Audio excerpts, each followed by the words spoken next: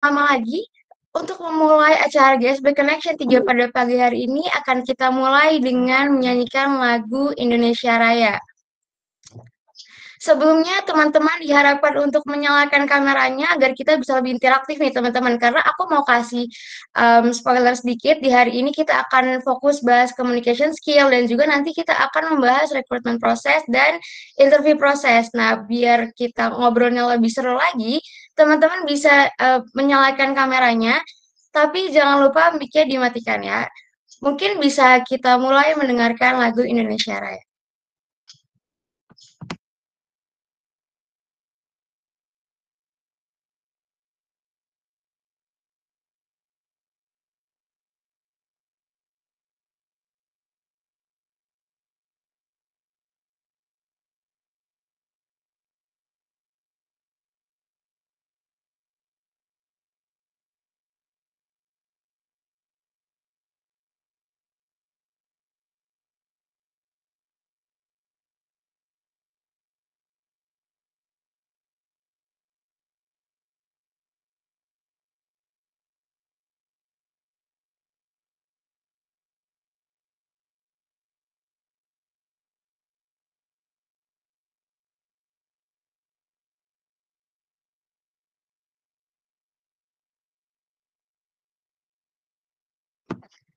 Nah, sambil menunggu Indonesia Rayanya diputar nih teman-teman, aku ingetin lagi, buat teman-teman sekalian jangan lupa menyalakan kameranya.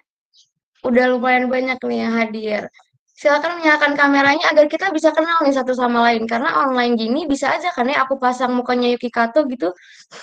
Cuman kan gak mungkin. Jadi biar kita saling mengenal, mungkin teman-teman bisa semuanya dibuka kameranya biar kita tahu, oh ini ternyata Andri udah mandi ya, udah seger oh ternyata ada raja nih emak baru bangun tidur nih kayaknya biar kelihatan. Tapi nggak apa-apa yang penting semuanya semangat ikut GSB Connection 3 mungkin belum ada ya Indonesia Rayanya biasa nih teman-teman. Kalau online gini memang suka terkendala sinyal. Selain terkendala jarak kita harus social distancing sinyalnya juga suka mainin kita nih kayaknya ya. Sebelum mulai mungkin ini udah kelihatan nih ada pemateri kita hari ini. Ada Kak Puspita aku sapa dulu. Halo Kak Puspita Halo Gita. Halo Kak, gimana nih Kak? Udah siap banget ya Kak? Kita mau, nah mungkin kita nyanyi Indonesia Raya dulu nih Kak. Oke. Gimana operator udah siap? Oke, baik teman-teman, marilah kita mulai.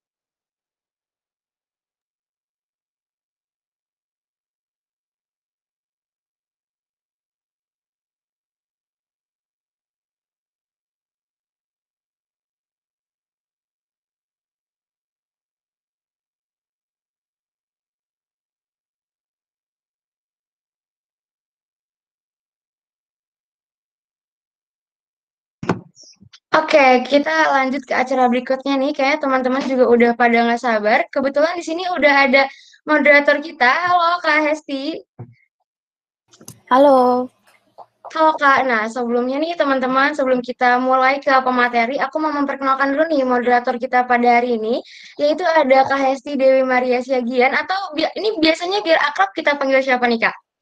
Hesti boleh. Oke, okay. kita panggil Kak Hesti ya. Nah, jadi teman-teman Kak Hesti ini adalah seorang bisnis analis.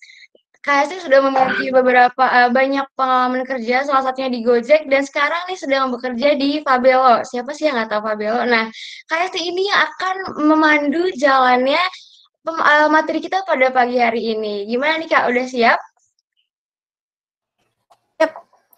Oke, langsung aja aku serahin ke Kak Hesti untuk memandu jalannya acara kita. Silakan Kak Hesti. Oke. Okay. Uh, boleh bantu di share screen dari Kapus Pita? Oke. Okay. Sebelumnya thank you buat Gita untuk perkenalan singkatnya untuk nama saya sendiri. Kemudian thank you juga pastinya untuk GSB untuk uh, terselenggaranya kegiatan ini, GSB Connection. Semoga um, di bulan Ramadan ini uh, dengan kita produktif nih pagi-pagi hari Sabtu bisa semakin banyak berkahnya untuk kita semua. Uh, welcome buat teman-teman semua. Sejauh ini ada 45 participants. Um, seperti yang kita tahu, untuk GSP Connection sendiri, ini adalah uh, kegiatan uh, rangkaian untuk work workshop terkait untuk pengenalan gimana sih kehidupan pasca kampus. Nah, sekarang kita udah di GSP Connection yang ketiga, jadi harapannya udah lumayan aware nih tentang hal-hal yang sebelumnya di connect, uh, GSP Connection 1 dan GSP Connection 2. Sebelumnya aku mau coba sebutin nama-nama uh, randomly dari partisipan. Di sini ada 48 so far, ada namanya Alfafa, dari Elma, kemudian Maya, kemudian Salsa, sampai dengan paling bawah ada namanya Zahra. Jadi welcome buat kita semua di uh, Sabtu pagi ini, eh sorry, Minggu pagi ini, kepikirannya Sabtu mulu. Uh, aku kenalin diri lagi, nama aku Hesti Dewi Maria Siagian, bisa dipanggil Hesti, tapi sebenarnya di, di kantor dipanggilnya Maria. Uh, kemudian uh, sejauh ini uh, sekarang bekerja sebagai senior business analyst di Fabelio, jadi namanya Fabelio ya. Kemudian um, sejauh ini sudah bekerja sekitar tiga setengah tahun, dan uh, sama seperti teman-teman, mayoritas teman-teman mungkin juga ada yang di luar IPB, yaitu um, uh, S1-nya di Statistika IPB sama sama dengan Kak Puspita gitu. Sebuah fun fact sedikit um, karena sekarang tema kita terkait how to land your dream job. Sebuah fun fact sedikit sejauh ini aku berkarir sekitar tiga setengah tahun, aku sudah sekitar delapan kali kali ya um, mengikuti rekrutmen proses dan puji Tuhannya most of it sampai dengan offering letter. Jadi uh, harapannya tuh dari Kapuspita sebagai uh, sebagai speaker kita hari ini dan dari saya juga sebagai moderator bisa benar-benar ngebantu teman-teman buat yang mau benar-benar nanya nih terkait uh, gimana sih Kak hacky way-nya supaya uh, supaya dapet nih dream job gue Oke. Sebelumnya karena uh, sebelumnya karena ini juga kegiatan yang merupakan kerjasama antara uh, GSB dengan Karir Hack. Jadi uh, aku mau kenalin sedikit terkait Karir Hack. Karir Hack ialah sebuah pro program atau sebuah project dengan ide untuk memprovide the know-how to enhance a career on professional and personal levels through progressive ecosystem. Nah, jadi di sini ada kita, Karir Hack Squad, ada uh, representatifnya yaitu saya dan Puspita dan juga di sini ada Debi. Kemudian uh, kami mau bantu nih teman-teman in any way possible kita bisa provide one stop solution gimana buat teman-teman bisa hack your dream career. Jadi stay connected with us. Di sini ada Instagram at careerhack.co dan bit.ly slash careerhack.id untuk tengok-tengok website kita. Oke, okay, sebelum uh, nextnya nanti di, uh, di akhir acara kita butuh bantuan teman-teman buat uh, mengisi form evaluasi untuk kita memahami apa yang perlu diimprove ke depannya uh, sehingga benar nih kecapai um, keinginan kita untuk membantu uh, teman-teman hack your career gitu. Kemudian nextnya uh, mau di share juga sedikit class rule. Um, pastikan untuk mikrofonnya dalam kondisi uh, mute. Kemudian um, Nantinya materi presentasi akan dibagi ke dalam tiga section. um, nanti di sela-sela section akan ada uh, kayak break section buat question and answer, satu question gitu. Dan harapannya teman-teman yang memberikan pertanyaan, nanti berikan pertanyaannya di sini, jadi bisa uh, bisa langsung masuk ke sini, slido.com dengan keywordnya itu GSBcon 3, dan nantinya kita bakal ada intermezzo question juga, jadi bisa sekalian isi um, enter the room sekarang. Kemudian buat teman-teman yang nanti um, berkesempatan buat dijawab pertanyaannya, bisa unmute yourself dan bisa discuss langsung dengan speaker kita, Kapus kita. Oke, okay. um, kemudian di encourage juga. Di sini aku ngeliatnya masih beberapa dan kayaknya cuma dari panitia nih yang masih uh, open camp. Karena sekarang kita temanya communication skill, it will be difficult kalau kita cuma mendengarkan aja nih pemaparan dari materi. Kita juga harus mencoba mempraktikannya dengan um, mempraktikkan gimana sih kalau misalnya ada pemateri, kita listening dengan actively gitu. Actively means kita tuh posisi siap dan kita juga mendengarkan dengan baik. Nantinya kita juga bisa berdiskusi dengan speaker kita. Jadi sangat uh, kami encourage buat teman-teman open your cam. Masih belum sih, uh, masih belum ada nih yang open cam uh, yang lainnya. Tapi harapannya bisa sambil open cam ya teman-teman. Kemudian untuk boleh di next kak. Oke, okay. jadi sebelumnya kita udah uh, ada GSP Connection kedua juga bersama Karir Hack yang temanya kurang lebih terkait personal branding oleh Kak Mugi David. Nah, sekarang karena udah tahu nih seharusnya ya, sudah tahu nih hacky way-nya gimana personal branding dan banyak banget bullet points actionables kemarin. Harapannya sekarang nih, ya udah gue udah personal branding, gimana caranya gue dapetin job itu?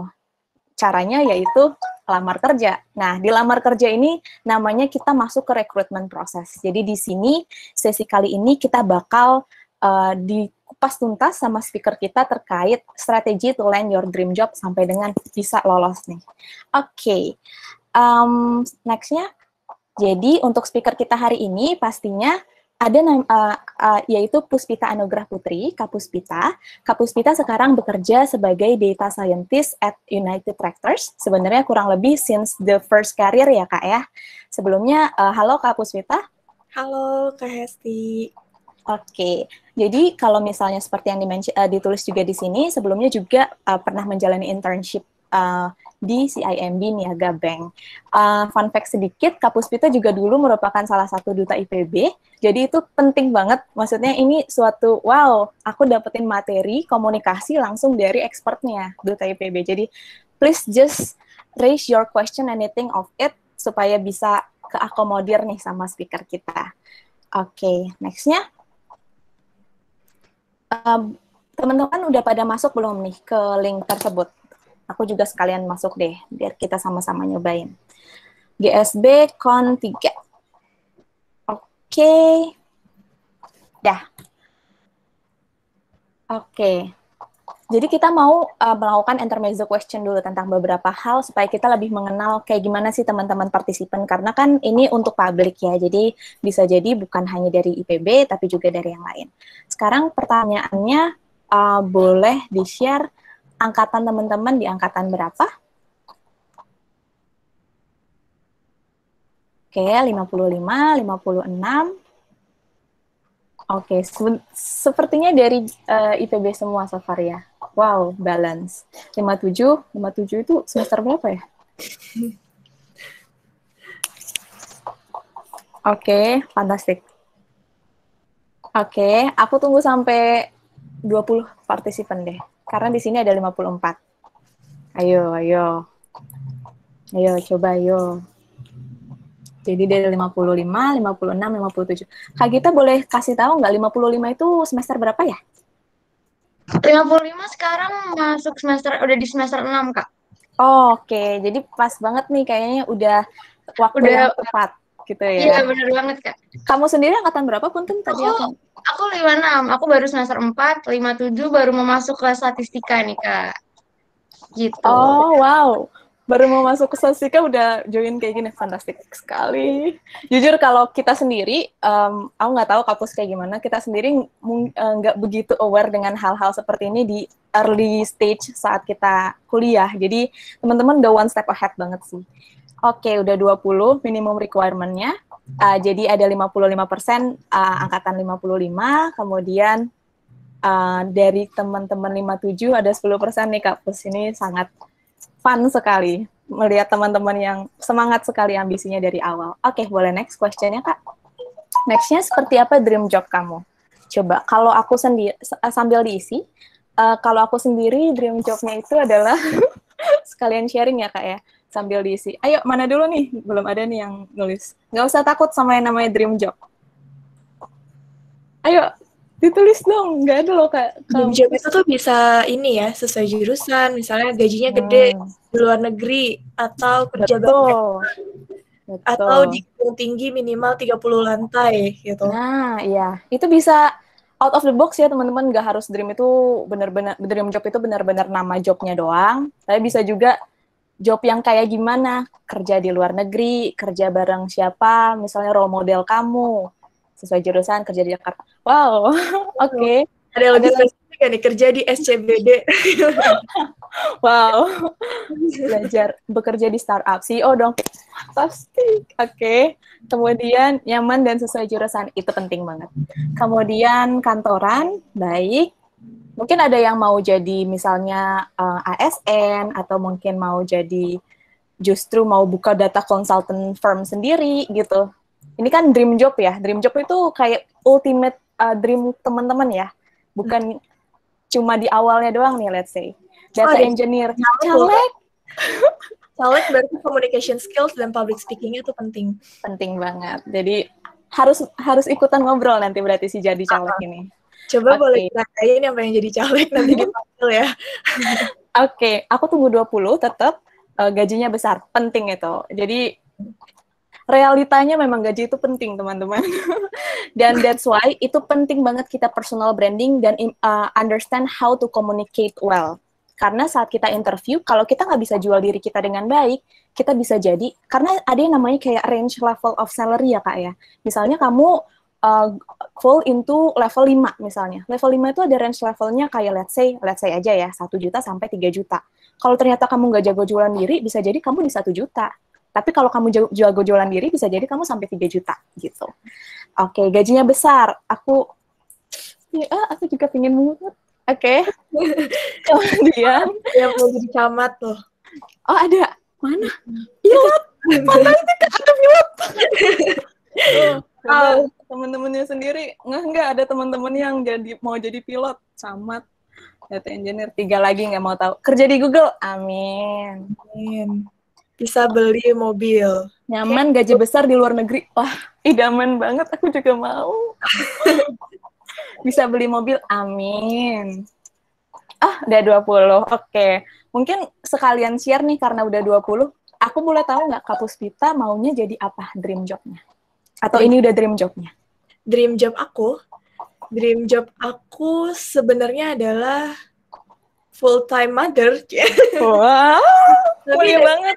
Seorang yang punya uh, apa ya kemampuan yang banyak sehingga kita bisa memberikan manfaat untuk orang sih. Sehingga nanti ketika misalnya sudah memutuskan untuk memilih uh, sebagai dream job itu tapi juga punya suatu bisnis, juga punya suatu kontribusi terhadap masyarakat. Wah, mulia sekali ya. Dan mulia sekali. Dia sudah mendukung gitu. Ya, betul, mulia sekali. Oke. Okay. Iya, oke. Okay. Um, aku nggak bakal mention dream job aku, tapi mungkin bisnis yang ingin banget aku capai, yaitu uh, pemilik kos-kosan Kak Pus. Apalagi di daerah Dramaga. Wah, gila fantastik betul, banget itu. Oke, nggak apa-apa ya itu fun fact aja dulu. Kita next dulu. Karena udah lumayan banyak nih yang share your idea. Jadi overall gajinya besar ya Kak Hesti ya? Iya, berarti gimana caranya jualan diri. Nextnya nih, sesuai sama tema kita hari ini. Communication dan pastinya interview. Menurut teman-teman, apa top of mind tentang interview? Apalagi teman-teman, aku yakin most of you belum ada yang uh, menjalani interview. Deg-degan, tegang, tegang. Ada kak interview masuk GSB biasanya ada interview ya?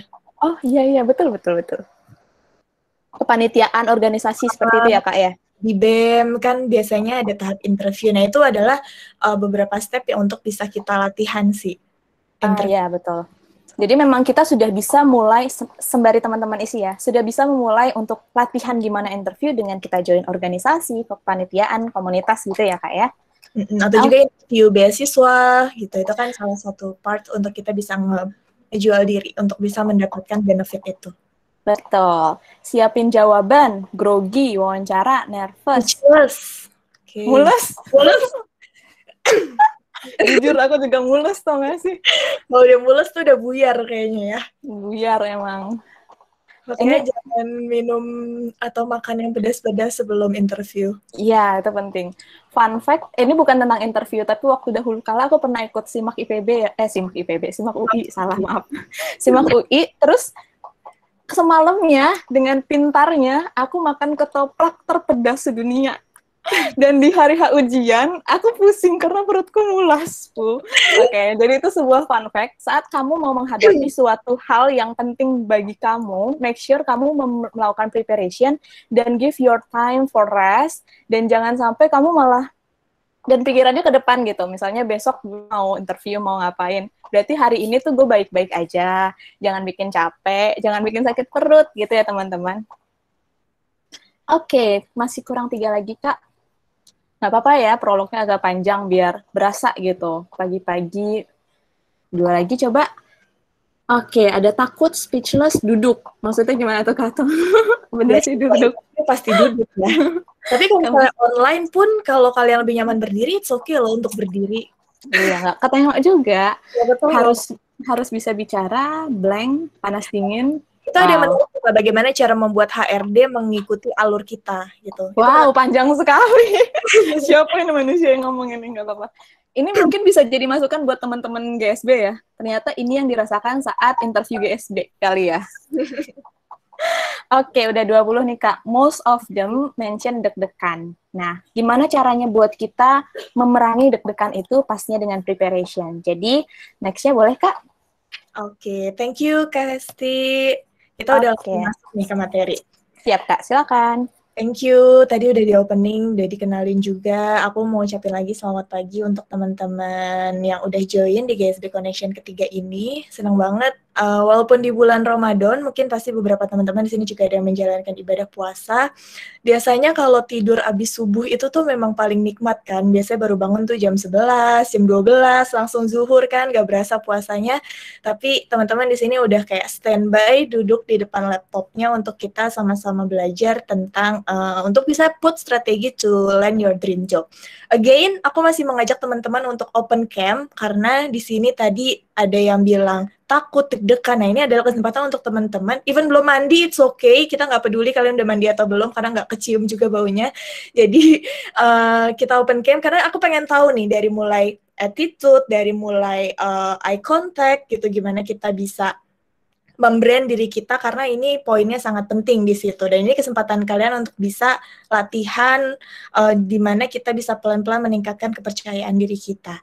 Oke, aku masih nge-trigger ya teman-teman untuk open cam ya. Boleh cuci muka cuci muka dulu, lap-lap muka dulu. Uh, abis itu kita bisa open cam. Even dari handphone pun juga it's okay. Nah, jadi kalau biasanya kita uh, mulainya itu secara spesifik ini aku pengen mulai secara general dulu tentang apa sih dream job itu gitu. Nah, tadi kan sudah disebutkan ya teman-teman top of mind dream job itu seperti apa? Dari mulai yang gajinya besar kerja di Jakarta. Kalau aku tuh dulu waktu kuliah aku tuh pingin banget kerja di area SCBD di perkantoran yang tinggi dengan office attire office look gitu dengan heels handbag gitu yang keren.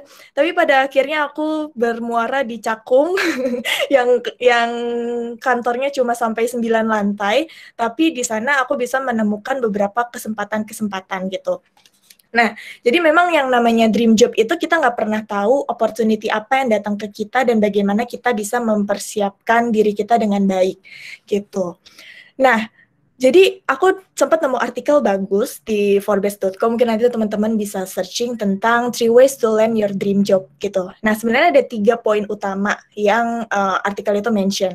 Yang pertama adalah nggak uh, bohong, ketika misalnya kita ingin mendapatkan dream job kita, kita harus bisa building strong network gitu. Kita harus bisa uh, apa namanya bisa mulai menemukan relasi-relasi tentang apa yang memang kita interest gitu. Misalnya kita memang interest untuk jadi CEO, tadi ada yang bilang pengen jadi CEO.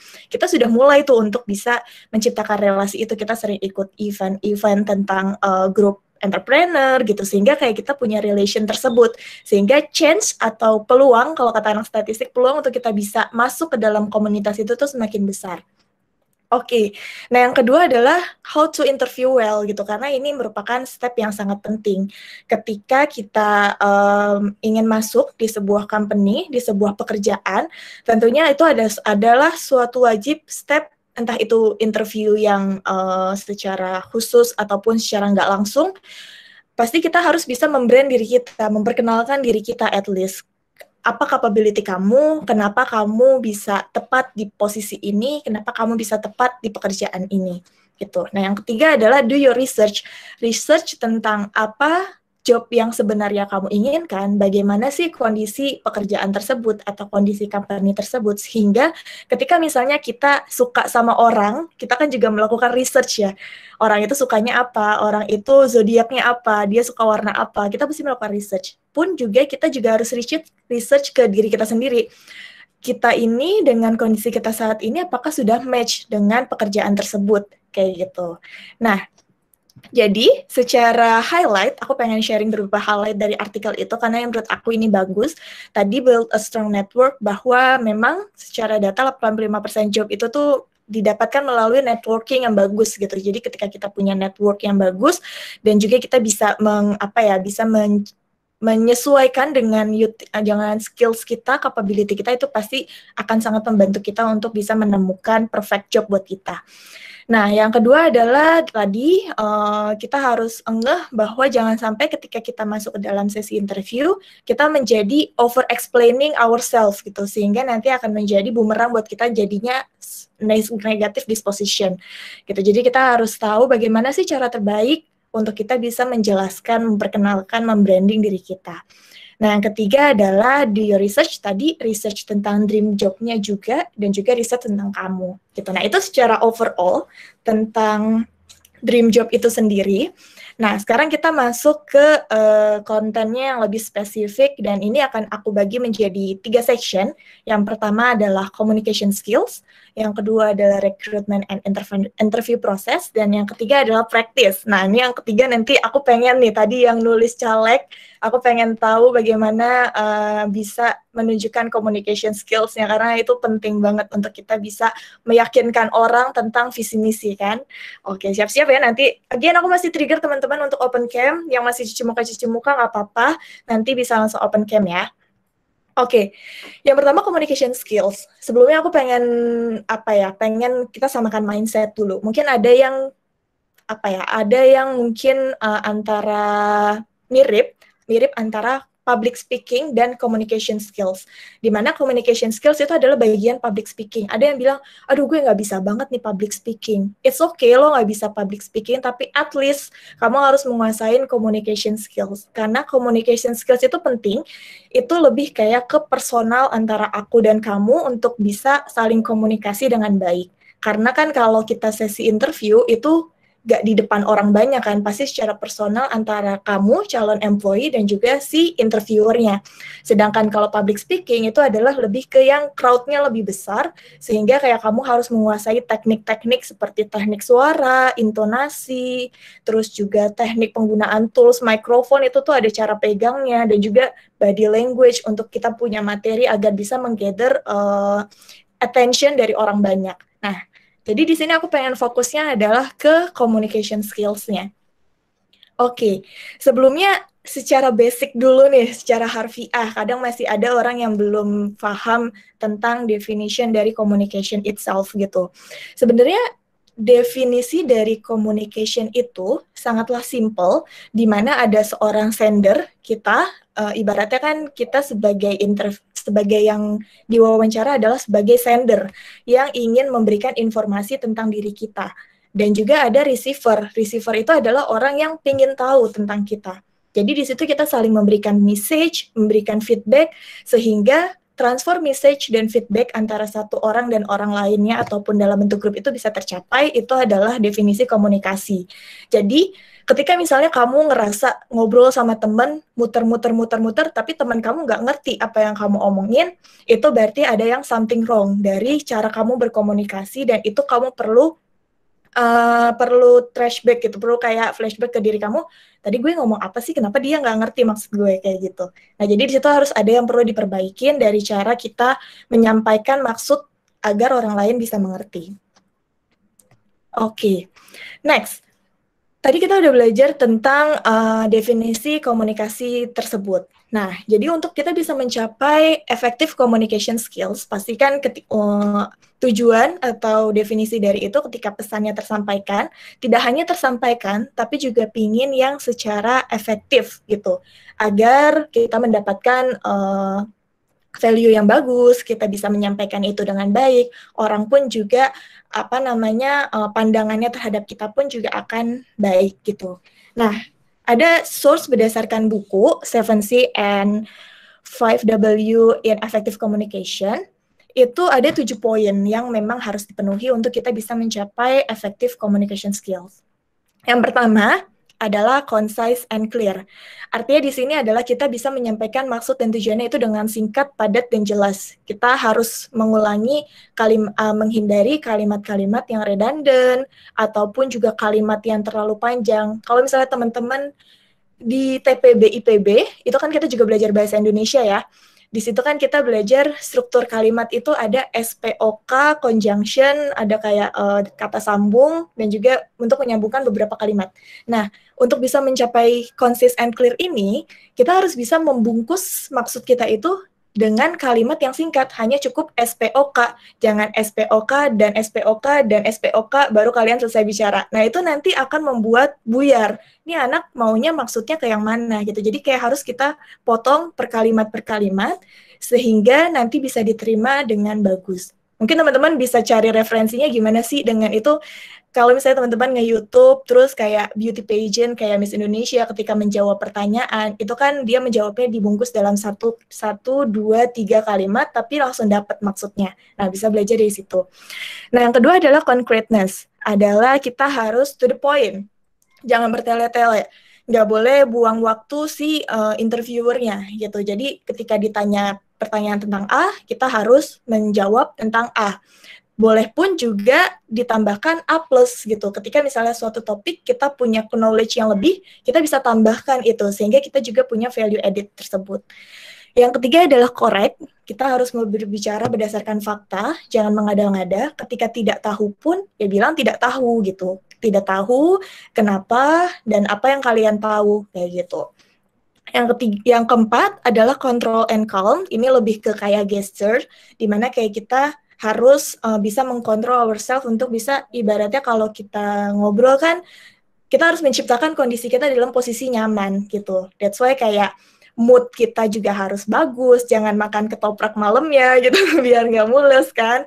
Terus juga kita harus benar-benar be prepare, diusahakan di situ adalah mood kita lagi bagus sehingga kita bisa kontrol, bisa calm, gitu, bisa menikmati uh, bisa menikmati proses ngobrol tersebut gitu. Ini masih ngobrol secara general ya kayak yang tadi ada yang bilang buat bikin si AHRD itu biar ngikutin story kita gitu. Karena ini kita loh yang punya story lo pengen tahu gue jadi lo harus ikutin story gue kayak gitu kurang lebih. Jadi kita harus calm pakai body language pace-nya jangan terlalu cepat.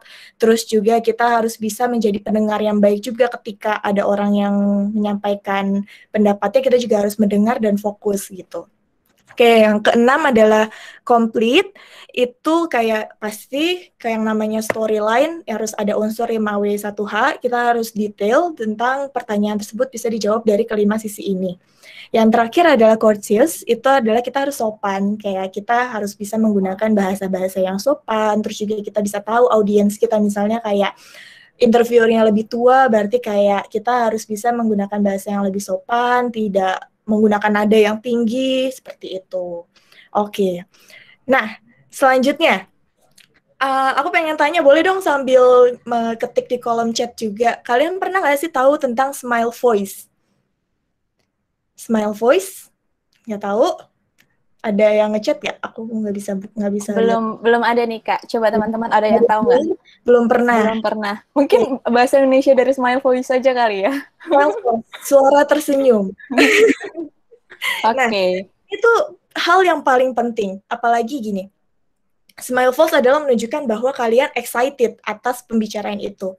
Misalnya kalian, uh, gini deh, aku ngambil basic communication. Misalnya kalian ngobrol sama pacar kalian atau sama sahabat kalian lah, mungkin yang masih jomblo. Jadi kayak kamu udah makan tapi flat gitu misalnya kamu cerita tapi dengan nada yang flat kan beda. Eh tahu nggak sih tadi aku tuh ke sana gitu. Nah itu kan suatu yang beda kan. Jadi smile voice itu adalah untuk menunjukkan kamu itu adalah seorang yang ramah, kamu itu adalah seorang yang engage di conversation itu. Beda kan ketika misalnya kita ngobrol dengan sesuatu yang gak interest, pasti kamu uh, kayak oh iya gitu ya, oh gitu, ya sih aku juga ngerasain. Beda kan, kayak feelingnya beda. Jadi adalah ini kayak suatu teknik public speaking juga sih, gimana kayak kita bisa ngobrolnya itu sambil tersenyum sehingga tuh kalau aku pernah belajar kayak saraf-saraf dari pipi, mata itu tuh kelihatan kalau misalnya kita excited gitu. Jadi even pun kayak kita pakai masker, misalnya kayak kita ngobrol sama orang dari gestur mata, alis, itu tuh bakal nunjukin kalau kita tuh excited atas apa yang sedang kita bicarakan. Kayak gitu. Karena ketika kita uh, ngobrolnya itu dengan smile voice dengan uh, apa namanya dengan yang kita uh, menunjukkan interest itu tuh akan infectious. Kita akan menghipnotis orang yang ngobrol sama kita itu buat kayak penasaran apalagi sih ceritanya apalagi sih nih anak bisanya kayak gitu. Jadi kita punya kesempatan lebih untuk ceritain tentang capability kita gitu. Nanti dicoba ya ngomong di kaca beda banget ketika misalnya perkenalkan saya Puspita Nugra Putri. Perkenalkan saya Puspita Nugra Putri dari Institut Pertanian Bogor. Nah, itu akan beda feelingnya gitu. Nanti boleh latihan ya. Oke. okay. Next. Jadi ini beberapa tips untuk kita bisa uh, mencapai effective communication skills tadi. Selain kita sudah mencapai tujuh poin tadi, tujuh seven C tadi, ini adalah beberapa tips. Yang pertama adalah uh, kita harus bisa uh, meningkatkan habit of writing dan juga rehearsing. Nah, ini yang kadang suka salah. Ketika misalnya kita mau uh, entah itu public speaking, kita mau presentasi ataupun kita mau sesi interview, kita sering kali tuh membuat writing, tapi menulisnya adalah script. Script kayak template apa yang harus kamu bicarakan dari A sampai Z. Dari mulai kayak dari mulai selamat pagi sampai terima kasih itu tuh kalian tulis gitu. Nah, itu adalah sesuatu yang salah karena ketika kita menulis script apa pun itu, entah misalnya untuk teman-teman yang lagi belajar MC ataupun teman-teman yang lagi mau presentasi, mau kolokium, seminar dan lain-lain. Ketika kita sudah membuat script, otak kita tuh akan terkotakkan dengan skrip tersebut. Jadi once nanti nggak sesuai plan skrip itu, ada suatu hal misalnya ada pertanyaan-pertanyaan jebakan yang kalian nggak prepare, semuanya itu akan buyar, semuanya itu akan blank, dan itu akan jadi bumerang buat kalian, gitu. Nah jadi harus coba dibiasakan untuk hanya menulis poin-poin apa saja sih yang pingin kalian uh, ucapkan, yang pingin kalian sampaikan, sehingga poin-poin tersebut tidak ada yang terlewat, gitu. Dan rehearsing tuh penting. Kita harus bisa trial, kita harus bisa uh, rehearsal ke teman untuk tahu lo dapat nggak sih maksud gue gitu dengan gue ceritanya seperti ini uh, dapat nggak sih meaningnya kayak gitu. Oke, okay, nah yang kedua you have to be honest again. Kita nggak boleh mengada-ngada, apalagi tentang kemampuan gitu karena itu akan relate dengan ekspektasi. Biasanya kan kalau misalnya kita masuk ke dalam uh, suatu pekerjaan, ada masa probation tiga bulan. Nah nanti pun dari si recruitersnya, dari dari si, si hiring manajernya itu akan review kan, ini anak sesuai nggak sih dengan apa yang disampaikan gitu, atau jangan dia mengada-ngada. Nanti ketika dievaluasi nanti akan berbanding jauh terbalik, misal itu malah nanti bisa jadi tidak diperpanjang kontraknya atau segala macamnya kayak gitu. Nah, yang ketiga adalah uh, keep your eye contact and body language. Again, eye contact itu sangat penting. Ketika kita berbicara dengan orang lain, kita harus bisa menghargainya dengan menatap matanya, gitu. Nah, mungkin di sini ada teman-teman yang terlalu nervous, it's okay nggak natap mata, tapi at least pandang jidatnya, gitu. pandang keningnya, gitu. Jadi kita masih tetap ini tetap engage atas conversation tersebut. Jangan nunduk, jangan matanya ke mana-mana, kayak gitu apalagi mungkin di masa sekarang ada mungkin nanti yang sesi interviewnya secara ini ya secara online. Pakai laptop gitu kita online. Make sure misalnya teman-teman punya take notes di sebelah kanannya make sure matanya itu pun juga harus ngelihatnya ke kamera. Jangan matanya itu kita malah ngelihatnya ke notes gitu karena itu nanti akan mempengaruhi banget. Oh ini anak baca gitu. Oh, orang ini baca dan itu pasti akan menurunkan value atau penilaian dari kalian gitu Terus yang keempat adalah have a clear, simple vocabulary. Again, walaupun misalnya nanti kita kan juga mesti tahu ya, kita berbicara dengan siapa. Jadi ketika misalnya, oh itu levelnya udah final interview, yang kita interview adalah eh, general manager GM gitu. Kalian make bahasa-bahasa yang sulit, kayak kalian sebut mape lah, atau misalnya kalian sebut apa bahasa-bahasa statistik yang terlalu dalam kayak gitu. Nah, itu akan sulit gitu. Jadi kita harus bisa mentranslate itu dengan lebih general dan lebih mudah dipahamin. Terus have a simple sentence tadi kalau bisa kita potong-potong kalimatnya cukup SPOK, SPOK, SPOK, jangan terlalu banyak kata sambung. Nanti kalian overwhelm sendiri tadi gue ngomong apa sih kayak gitu kan. Terus share your knowledge, be, be the value add. Tadi ketika misalnya ditanya pertanyaan A, kalian boleh menjawabnya A plus gitu. Misalnya kalian bisa menjawab A, oh kalian juga tahu nih, oh gue juga tahu nih kalau misalnya ini tuh ada tambahan informasi loh. Nah bisa ditambahkan di situ give feedback, engage their mind. Artinya ketika misalnya interviewer atau lawan bicara kita memberikan feedback, kita nggak boleh acuh, jangan kekeh, eh tak dulu loh ceritanya, dengerin dulu cerita gue, kayak gitu, nggak gitu. Tapi kayak kita juga kasih kesempatan dia untuk memberikan feedback kita, kita respon dulu apa yang dia sampaikan, sehingga itu bisa terus ke-engage gitu. Jadi nggak akan berhenti ngobrolnya, tetap seru. Dan yang terakhir, humble, yet confident. Oke, okay. Nah, itu tadi kita udah ngomong communication skills secara keseluruhan. Nah, ini sebuah sneak peek sebelum nanti kita masuk ke dalam uh, ke dalam sesi yang lebih dalam, bahas tentang recruitment process dan juga interview. Jadi kurang lebih dari communication skill yang pasti dicari oleh seorang interviewer, pasti adalah listening skills kita tuh juga penting untuk selain kita bisa uh, sebagai pendengar yang baik, tapi kita juga harus bisa menangkap dengan cepat apa sih yang sedang dibicarakan, apa sih yang ditanyakan.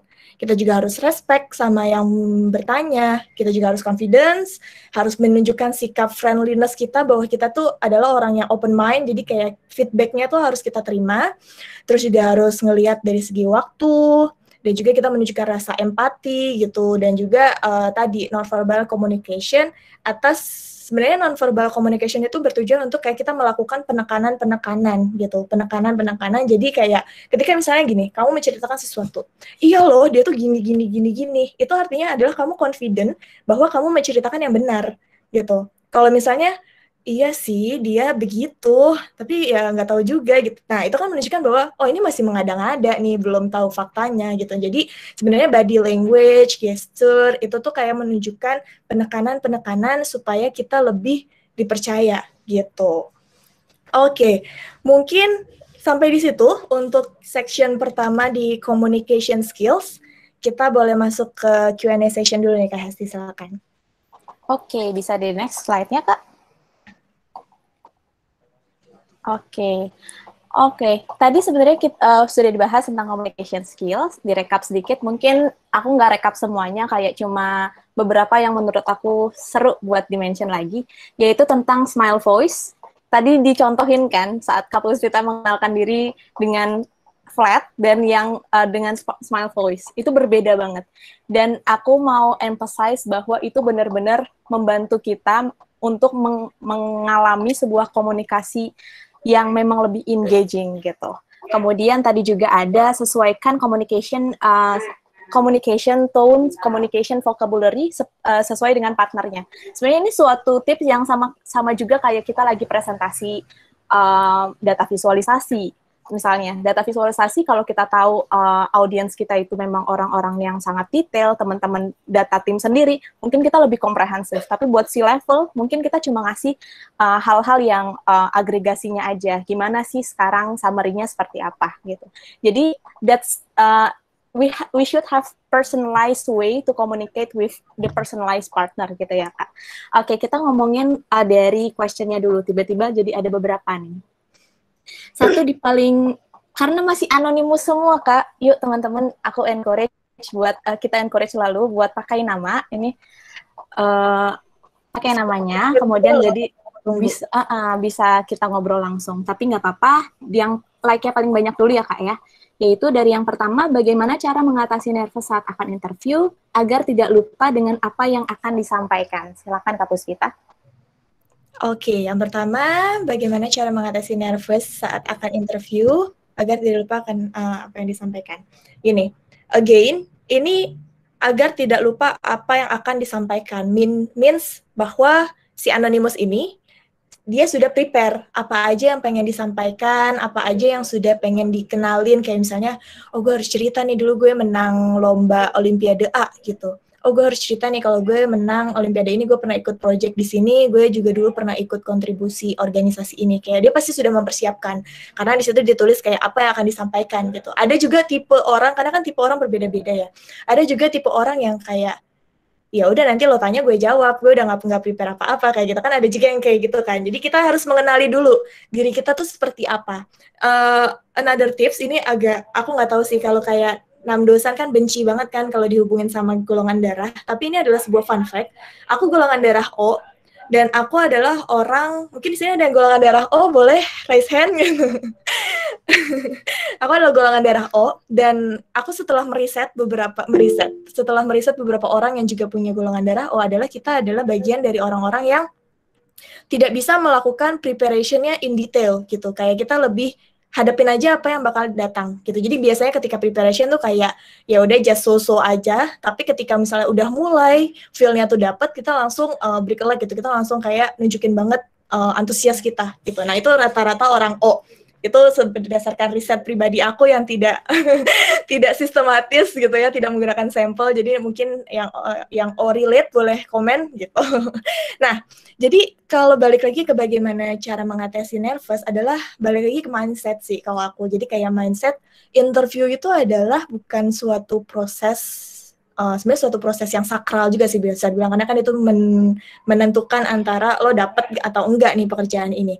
Tapi di selain itu pun juga harus buat mindset bahwa ini kesempatan gue untuk ngobrol, kesempatan untuk ngobrol sehingga tadi kita harus memposisikan diri kita nyaman dulu. Karena kan kalau udah nyaman pasti uh, akan lebih mengalirkan pembicaraannya. Nah, untuk agar apa ya agar tidak lupa dengan apa yang akan disampaikan, itu tadi ketika membuat preparation jangan pernah membuat skrip gitu. Karena ketika kita membuat skrip benar-benar membuat skrip uh, misalnya kayak iya selamat pagi perkenalkan saya Puspita saya dulu bekerja, uh, berkuliah di sini ikut jurusan ini gitu. Dengan ini ketika dibuat skrip itu tuh akan mudah sekali buyar. Tapi kalau misalnya kamu udah bikin tag notesnya oke okay, yang bakal gue omongin di sini adalah pengalaman A pengalaman B pengalaman C project A project B project C kemampuan gue A B C D nah itu akan mudah diingat gitu. Nah, jadi mungkin itu salah satu tipsnya ya untuk anonymous tadi agar tidak lupa apa yang disampaikan adalah kita memposisikan diri kita dulu untuk bisa nyaman. Again juga harus dipersiapkan kayak mood ketika malamnya kayak kalau misalnya mau interview tuh kayak dihindarin dulu deh, misalnya kayak yang ada konflik-konflik sama teman, konflik-konflik sama siapa pun itu, sehingga kalau mood kita bagus, insya Allah nanti uh, ngobrolnya itu akan juga lebih nyaman, gitu. Oke, okay, thank you Kapus. Uh, dari Anonymous mungkin bisa unmute tiba-tiba, tapi nggak apa-apa kalau misalnya nggak unmute pun. Jadi uh, tadi yang aku menurut aku menarik banget adalah saat kita interview itu adalah chance kita buat ngobrol, ya teman-teman. Jadi it's not uh, suatu suatu ketika buat uh, mentes diri kita tapi justru kita uh, manfaatkan menjadi kesempatan buat kita bisa menyampaikan apa yang ingin kita sampaikan untuk membranding ourselves gitu. Karena dari sini, eh bentar, ada nggak sih yang ngasih nama? Screenku kecil. Ada nih yang ngasih nama kak dari Alpin. Uh, oh ya, tadi untuk anonymous, hopefully udah answers. Kemudian dia nextnya dari Alpin, Kak, is there any keyword that becomes a red flag for the interview uh, interviewer and we should always avoid. Oke, okay, kalau aku sebelum move ke Kak Puspita dulu, sebenarnya nanti kita ada suatu red tag di akhir ya Kak ya. Jadi mungkin kita hold for the last buat Alvin if that's okay. Um, karena masih Alvin boleh unjuk diri, Al, oh, WKWK, oh Alvin Christian namanya, bukan Alvin ya. Oke, okay, thank you. Um, mungkin supaya sebelum kita ke next, dari instead of kita ke question-question yang masih anonimus, kita mungkin bisa pick satu orang buat perkenalan diri dengan smile voice kali ya kak. Jadi sesimpel mungkin gini kali, ya, nama, sekarang um, jurusan apa, eh sekarang angkatan berapa dan dream jobnya apa. Mungkin karena tadi belum berkesempatan untuk dijawab, dari Alvin bisa bisa open your uh, cam and open your mic juga. Nggak mau tahu namanya uh, Alvin. Aduh kak. mana? Kalau belum mandi loh. Muka lo iya, mana? Iya, mana aku belum mandi. Aku belum mandi. Gak apa-apa. Yang penting smile voice-nya yang penting. Aduh. Oke, okay. give me some like two minutes.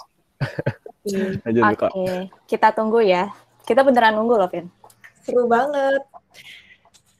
Oke, okay, nggak apa-apa kita sambil nanya ya. Ini harus benar-benar kesempatan loh nanya.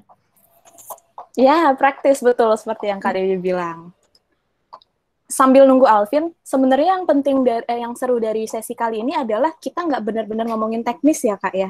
Jadi karena ya. kalau kamu lihat aku mikir jadi kamu silakan. Oke, okay, karena karena kayak gini tuh bukan sesuatu yang textbook ya. Beda kalau nanti kita bicara uh, tentang metode forecasting gitu. Nah, itu kan memang sesuatu yang sudah textbook. Ini tuh lebih kayak ke experience, gimana kita sering ngobrol sama orang, gimana kita bisa ekspresi. Ekspresi itu sangat penting loh gitu. Masa sih kalian mau bekerja dengan orang yang flat gitu? Enggak kan?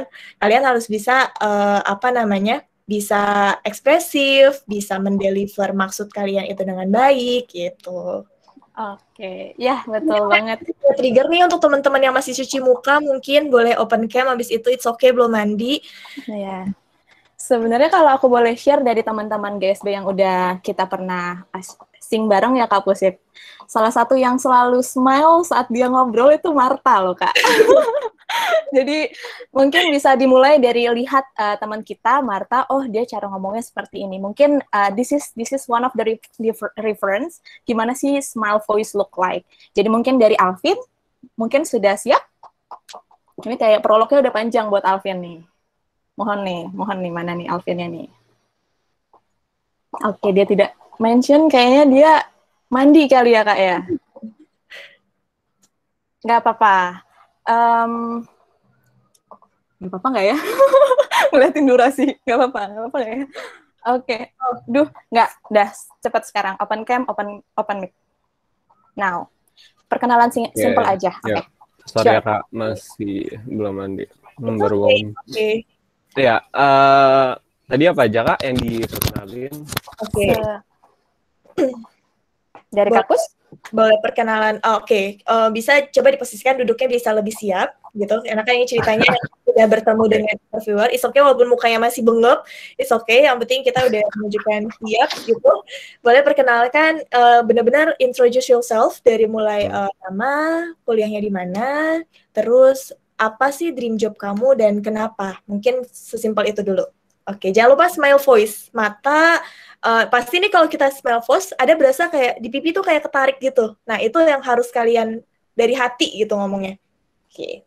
Silakan Alvin. Oke, okay, um, ya disclaimer dulu aku orang yang susah senyum jadi mohon maaf kalau aneh. Ya, oke. Okay.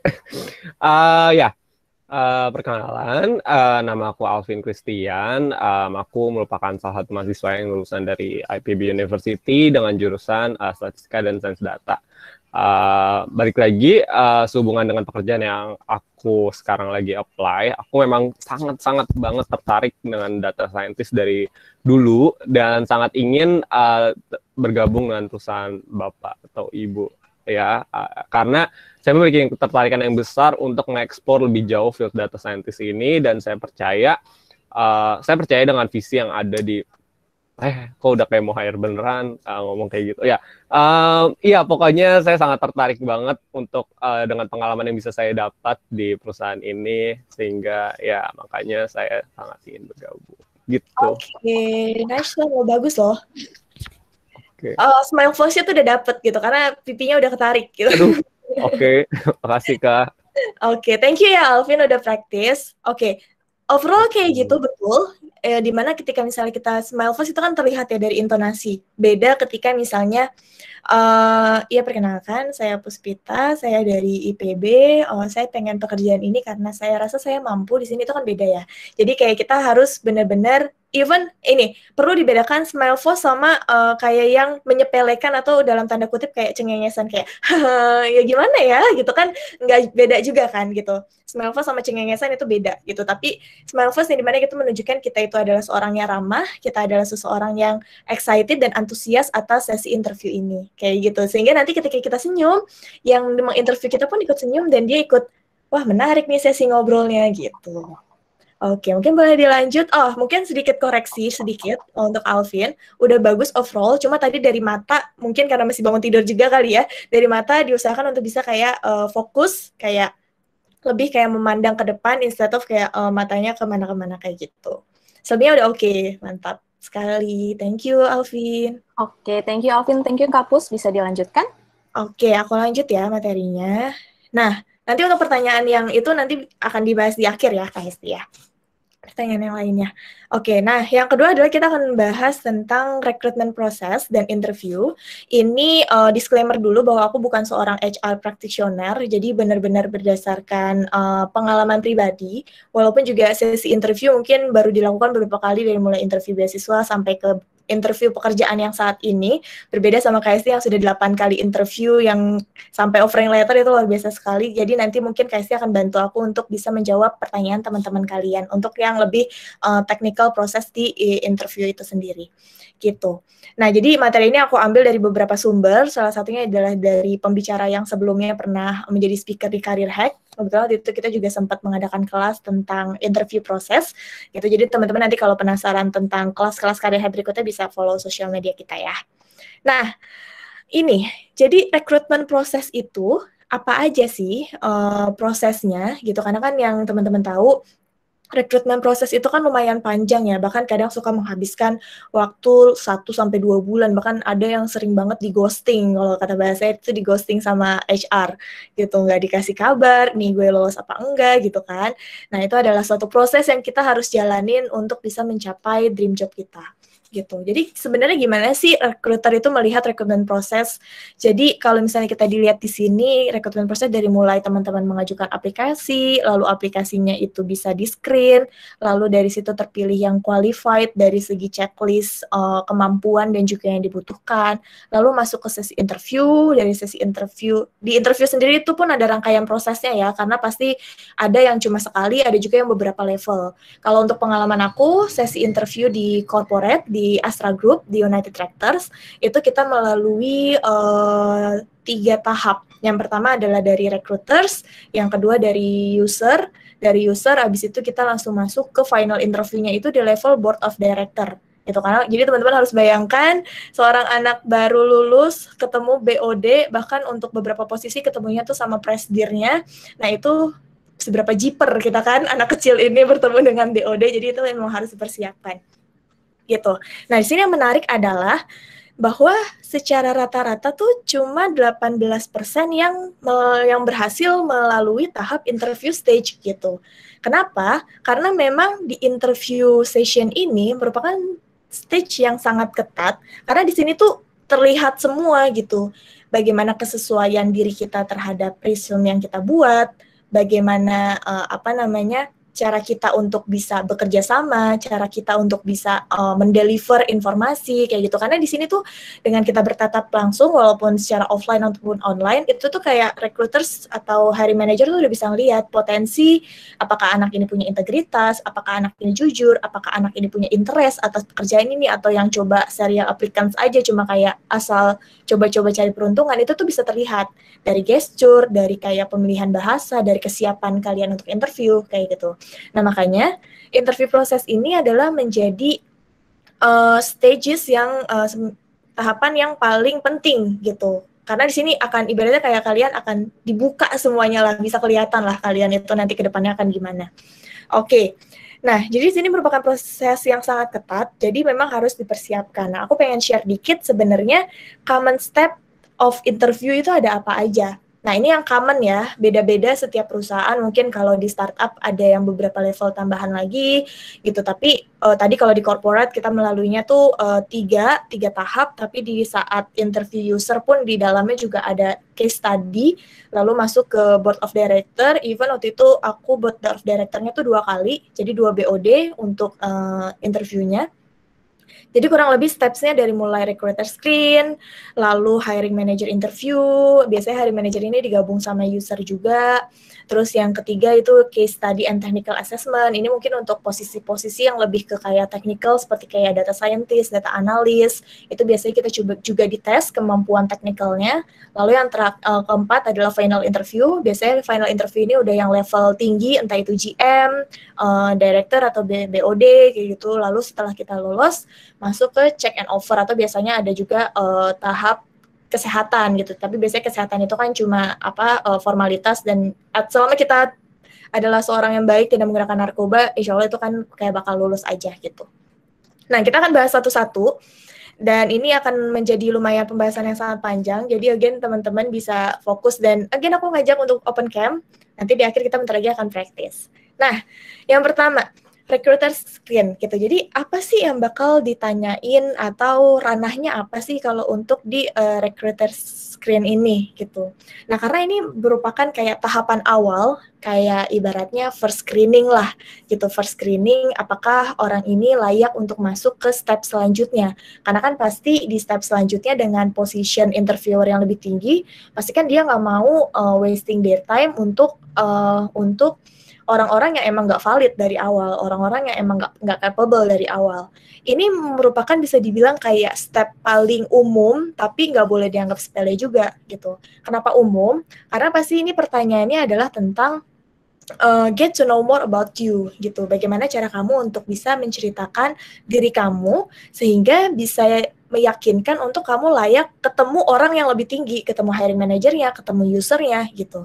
Karena di sini pasti akan ditanyakan beberapa yang sifatnya general tentang diri kamu, seperti your motivation, your drive, your mindset, seberapa cocok kamu dengan pekerjaan ini. Nah, communication skills, gimana kamu bisa bercerita sehingga tetap engage dengan si interviewer, sama tentang business understanding-nya, business acumen-nya, seberapa paham kamu tentang job yang mau kamu lamar ini gitu. Karena itu kadang yang sering lupa kayak pernah aku ada pengalaman temen uh, apa namanya dia mau mendaftar di United Tractors tapi dia malah menyebutkan produk dari kompetitor itu nah itu kayak sesuatu yang ya mungkin itu karena nervous atau mungkin kurang research. Jadi kan itu salah satu yang ini anak jangan-jangan daftar ke kompetitor malah daftar ke sini kayak gitu. Jadi kayak itu yang mesti bener-bener kayak kita harus persiapkan gitu. Again communication skills itu jadi yang paling penting ya. Nah beberapa pertanyaannya. Nih sebuah uh, clue. Kayak pasti tell me about yourself. Kenapa sih kamu mau mendaftar pekerjaan ini? Seberapa tahu kamu tentang company ini? Gitu. Terus kayak misalnya kamu uh, apa namanya dari job description description kamu tuh kayak udah paham belum sih tentang job description tersebut kayak menceritakan tentang pengalamannya di kampus, pengalaman organisasi dan lain-lain, terus juga tentang bagaimana kamu men men mengatasi sebuah masalah, tapi pasti ini level problemnya adalah level yang masih general gitu. Kayak itu if you can reflect back what are the meaningful learnings you got from your experience. Itu tuh kayak pengen nunjukin gimana sih kita tuh bisa mengambil pelajaran-pelajaran dari apa yang kita udah alamin dulu. Nah, yang paling penting ini nih, do you have any questions? Kadang uh, kita itu ketika menjadi seorang calon employee, seorang yang diinterview, suka males untuk nanya. Kayak misalnya, oke, okay, sesi interview sudah selesai ya, terima kasih. Misalnya, terima kasih Marta atas uh, sesi interviewnya di hari ini. Ada pertanyaan untuk saya? Kayak gitu. Kadang kita tuh kayak terlalu biar cepat selesai enggak enggak mbak makasih cukup kayak gitu padahal itu adalah sebuah kesempatan untuk kita bisa bertanya kenapa kita harus dalam tanda kutip harus bertanya artinya adalah kita tuh curious tentang pekerjaan ini. Bisa aja kalian kalau misalnya memang dari sesi interview itu belum terjawab uh, mau tanya untuk job description ini kira-kira apa yang perlu saya persiapkan lagi ya untuk saya bisa uh, apa namanya nanti bisa dengan cepat beradaptasi dengan culture di perusahaan ngobrol-ngobrol aja tentang culture tentang misalnya tentang uh, di sini tuh uh, ritme pekerjaannya seperti apa kayak gitu. Itu adalah menunjukkan kamu curious atas pekerjaan ini. Tapi at least, uh, yang penting kamu juga tahu waktu gitu. Ketika misalnya dari interviewer itu bilang oke okay, waktu kita udah habis ini tapi kamu masih keke buat nanya biar ke checklist gitu do you have any questionnya? Enggak juga. Jadi kayak tahu uh, conditionnya. Dan yang paling penting juga adalah kita harus menceritakan di luar apa yang kita tulis di resume gitu. Soalnya kan secara tertulis kayak kita udah dengan detail menuliskan uh, poin-poin experience, poin-poin skills, poin-poin project atau organisasi yang kita ikutin. Nah, dengan sesi interview ini bukan hanya kalian menyebutkan poin-poin tersebut, tapi bisa dielaborate lagi, bisa dikembangkan lagi ceritanya. Gitu misalnya kalian terlibat di project A. Oh iya, di, saya pernah terlibat di project A, saat itu tuh projectnya lumayan sulit, di mana project itu tuh melibatkan misalnya uh, melibatkan uh, kita melakukan survei sekota Bogor sampai akhirnya sur hasil survei tersebut tuh kita melakukan presentasi ke wali kota Bogor gitu. Itu project kita ya Ciot itu. project survei sekota Bogor terus outputnya kita uh, present. Nah, dari, dari situ kan sebenarnya nggak bisa kalian tulis di resume, tapi kalian bisa ceritakan. Nah itu yang akan menjadi storyline sehingga tadi ter, tercapai itu yang tadi di awal pengen bikin si HRD-nya itu mengikuti alur kita gitu. Jadi nanti kan HRD-nya penasaran. Oh, di situ kamu ketemu problemnya apa aja kayak gitu. Oh ya problemnya kayak gini kayak gini. Nah, di situ tuh saya bisa menghad menghadapinya dengan begini begini begini sampai akhirnya proyek itu selesai. Gitu. Nah, jadi di sini again harus dibuat mindset bahwa uh, interview ini adalah sebuah cerita gitu. Kayak kalian cerita ke temen gitu, cerita ke orang untuk meyakinkan bahwa uh, gue keren loh gitu, gue bisa melalui ini kayak gitu. Oke, okay, next. Yang kedua adalah hiring manager interview gitu. Hiring manager interview ini pasti uh, levelnya lebih tinggi gitu. Kalau tadi recruiter misalnya kayak associate dari recruiternya, ini ke hiring manager yang di mana pasti dia yang punya uh, wewenang punya wewenang untuk nentuin ini anak next step atau enggak ataupun biasanya di sini tuh digabung juga sama user user uh, yang memang akan bekerja sama dengan kalian kayak gitu. Nah kalau tadi general masih about you gitu. Kalau ini lebih ke kayak practice atau ke capabilities kalian gitu. Jadi kayak uh, keywordsnya adalah hire manager wants to get to know more about your background and your capability. Jadi nggak cuma backgroundnya aja, tapi sudah direlatekan dengan capability apa sih yang kamu punya sehingga kamu bisa memberikan uh, solution atas permasalahan-permasalahan yang sedang dihadapi perusahaan atau atas uh, kebutuhan-kebutuhan dari uh, pekerjaan yang memang dibutuhkan saat ini gitu. Jadi yang perlu diceritakan pasti dengan relevan expertise, background tentang business acumen atau business understanding dari perusahaan yang emang kalian apply. Terus bagaimana kalian bisa uh, menunjukkan influence kalian mengimpact misalnya kayak oh saya juga pernah dulu menjadi ketua panitia di sini kayak gitu ketua panitia ini bergerak di bidang ini kita bertujuan untuk uh, AB ABCD gitu dan bagaimana kalian bisa mengeksekusi plan-plan kalian uh, dan juga bisa mendeliver insight atau uh, informasi yang memang kalian tahu di situ tentang expertise kalian di di di bidang itu gitu. Jadi di sini pasti akan bahasnya udah bukan general lagi kayak misalnya masih yang belum spesifik kamu itu bisanya apa baru bahas motivasi aja. Nah, itu udah bukan di sini stepnya. Itu tadi di step awal gitu. Nah, pertanyaannya apa aja kira-kira yang akan ditanyakan? Pasti kayak project apa yang pernah kamu kerjakan, terus kayak pernah mengerjakan suatu apa namanya, pernah mengerjakan suatu data analisis project nggak? Terus juga uh, apa namanya, pernah pernah uh, menghadapi masalah-masalah teknis, daily rutinnya seperti apa, gimana cara kamu mengatasi masalah, misalnya kayak ada masalah terkait data limitasi, apa yang kamu lakukan, atau misalnya kayak masalah sistem yang belum mendukung, gimana kamu bisa tetap memberikan value atau bisa memberikan uh, insight dari apa yang akan kamu kerjakan kayak gitu. Terus kayak bagaimana kamu bisa berkontribusi atas sebuah project, terus ataupun misalnya pun kalian sebelumnya sudah pernah bekerja kayak bisa diceritakan uh, pekerjaan yang sebelumnya itu seperti apa gimana kita bisa menghadapi masalah-masalah achievement-achievement apa yang sudah kita capai di perusahaan sebelumnya dan mungkin juga dijelaskan alasan kenapa sih kamu pindah ke sini gitu. Nah itu pasti jadi pertanyaan-pertanyaan uh, yang common gitu. Dan juga memang harus dipersiapkan jawabannya gitu. Again tadi kalau di hiring manager ini pasti uh, bahasannya udah bukan tentang motivation, udah bukan tentang diri kamu aja, tapi diri kamu juga harus direlatekan dengan capability yang memang sesuai dengan uh, pekerjaan yang dibutuhkan saat itu. Gitu. Nah, yang ketiga ini tadi kalau tadi Alvin katanya pengen banget jadi data scientist, nah itu pasti ada sebuah step di mana kita case study and technical assessment gitu.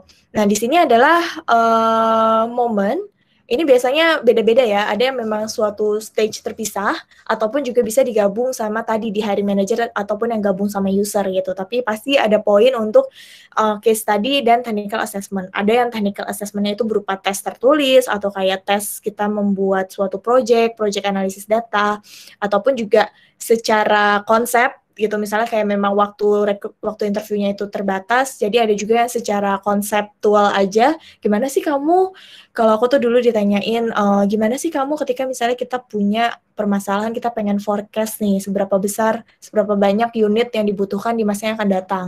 Kira-kira itu uh, konsep problem solvingnya seperti apa? Kayak gitu. Nah pasti nanti kamu akan dikasih sebuah uh, pen and paper atau mungkin spidol di papan tulis kalau misalnya offline kalian bisa kayak jelasin cara detail Nah, ada beberapa yang perlu diperhatikan di stage ini. Uh, pastikan ini adalah tujuannya untuk bisa uh, mengetahui uh, bagaimana kandidat tersebut bisa mengerti problem yang diajukan dan juga uh, solution apa yang ditawarkan gitu. Yang perlu dihindari adalah uh, beberapa pemikiran-pemikiran subjektif ya itu harus dihindari dan juga ingat bahwa pasti di sesi ini itu dibatasi waktu jadi kita harus bisa memanfaatkan waktu semaksimal mungkin. Dan again kita juga harus bisa menjelaskannya itu dengan cara simple gitu. Ja, apa namanya jangan terlalu teknikal karena pasti ketika teknikal kita kan juga belum tahu belum tahu betul nih apakah orang yang menginterview kita itu beneran orang lulusan statistika atau lulusan uh, uh, ilmu komputer yang emang mengerti tentang bahasa-bahasa itu atau memang dia sebenarnya cuma manajer aja. Biasanya kan kalau manajer uh, dia memang lebih pahamnya di problem di bisnis case-nya kan gitu. Jadi kayak kita harus sebisa mungkin harus menempatkan kita di posisi netral yang menyentuh sedikit ke bagian teknikal tapi juga menyentuh juga bagian secara generalnya. Bagian untuk at least yang paling penting itu adalah bagaimana kita bisa menjawab bisnis question-nya gitu. Nah jadi uh, di proses ini benar-benar menjadi waktu kalian untuk bisa showcase your knowledge, your skills, understanding, dan juga terkait bisnisnya. Uh, again di sini harus bisa dijelaskan dengan cara yang simple dan juga mudah dimengerti. Dan paling penting adalah harus dibuat suatu kesimpulan. Jadi kesimpulan dari metode yang akan saya kerjakan ini, kita akan bisa menjawab ini loh Pak. Kita akan bisa membuat produk ini, produk A, yang tentunya nanti akan bisa menjadi manfaat untuk uh, kemajuan bisnis Bapak kayak gitu kurang lebih.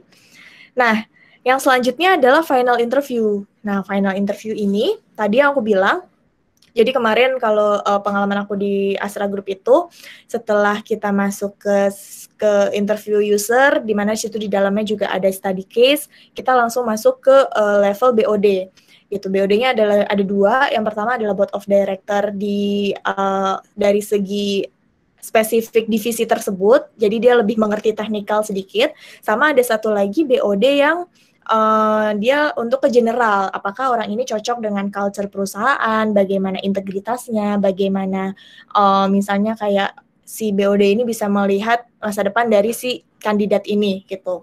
Nah, biasanya kalau di final interview ini karena kita sudah menunjukkan tadi, kita udah checklist tuh, oh, motivationnya udah dapet, oh bisnis uh, bisnis understandingnya udah dapet. Motivation cara dia communicationnya pasti juga udah dapet. Oh technical technical skillsnya juga udah checklist gitu. Ibaratnya tuh kalian udah bisa lebih pede nih. Jadi udah nggak ada alasan lagi untuk nervous harusnya di final interview ini.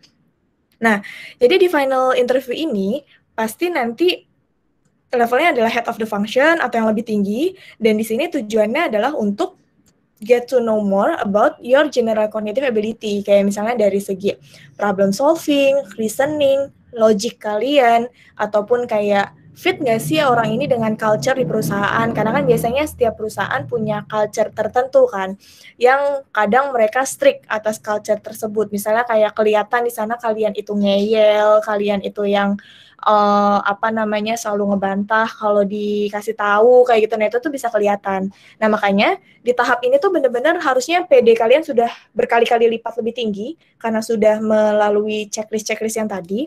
Nah di sini adalah waktu kalian untuk ngebungkus apa yang sudah kalian laluin dan nge-propose ke final interview itu sehingga saya layak loh Pak di pekerjaan ini gitu. Layaknya dengan cara kalian simpulkan, oh ya kemarin saya sudah di interview seperti ini, saya saya mempunyai motivasi yang kuat di sini dan bagaimana cara cara saya untuk bisa memproblem solving tentang culture di sini itu menurut saya akan sangat uh, cocok untuk saya karena saya adalah orang yang seperti ini, seperti ini, seperti ini kayak gitu. Jadi di sini benar-benar kayak final change lah kalian untuk bisa ngebungkus atas apa yang udah kalian laluin step interviewnya untuk bisa menunjukkan bahwa kalian layak untuk bisa mendapatkan itu dan bisa masuk ke tahap offering kayak gitu.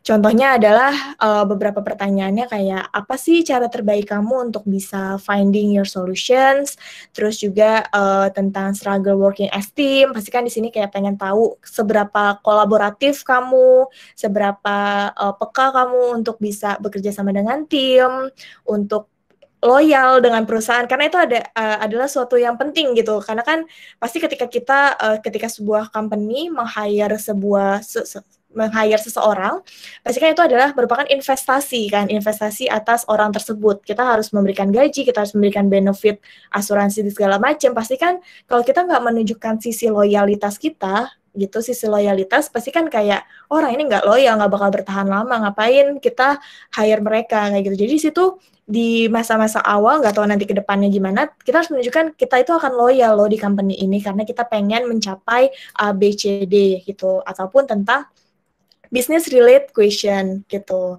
Jadi harusnya akan lebih enjoy ketika sudah masuk ke tahap final interview ini. Tapi again, jangan disepelekan apalagi terkait tadi basic-basic communication skills tadi dari segi sikap, persiapan mood segala macam, poin-poin apa yang pengen kalian ceritakan itu juga harus tetap kita persiapkan. Gitu. Nah, next ini aku nemu artikel lagi tentang job interview hack yang selama ini tuh kita sering lupain. Jadi yang pertama itu di artikel itu bilang focus more on likability.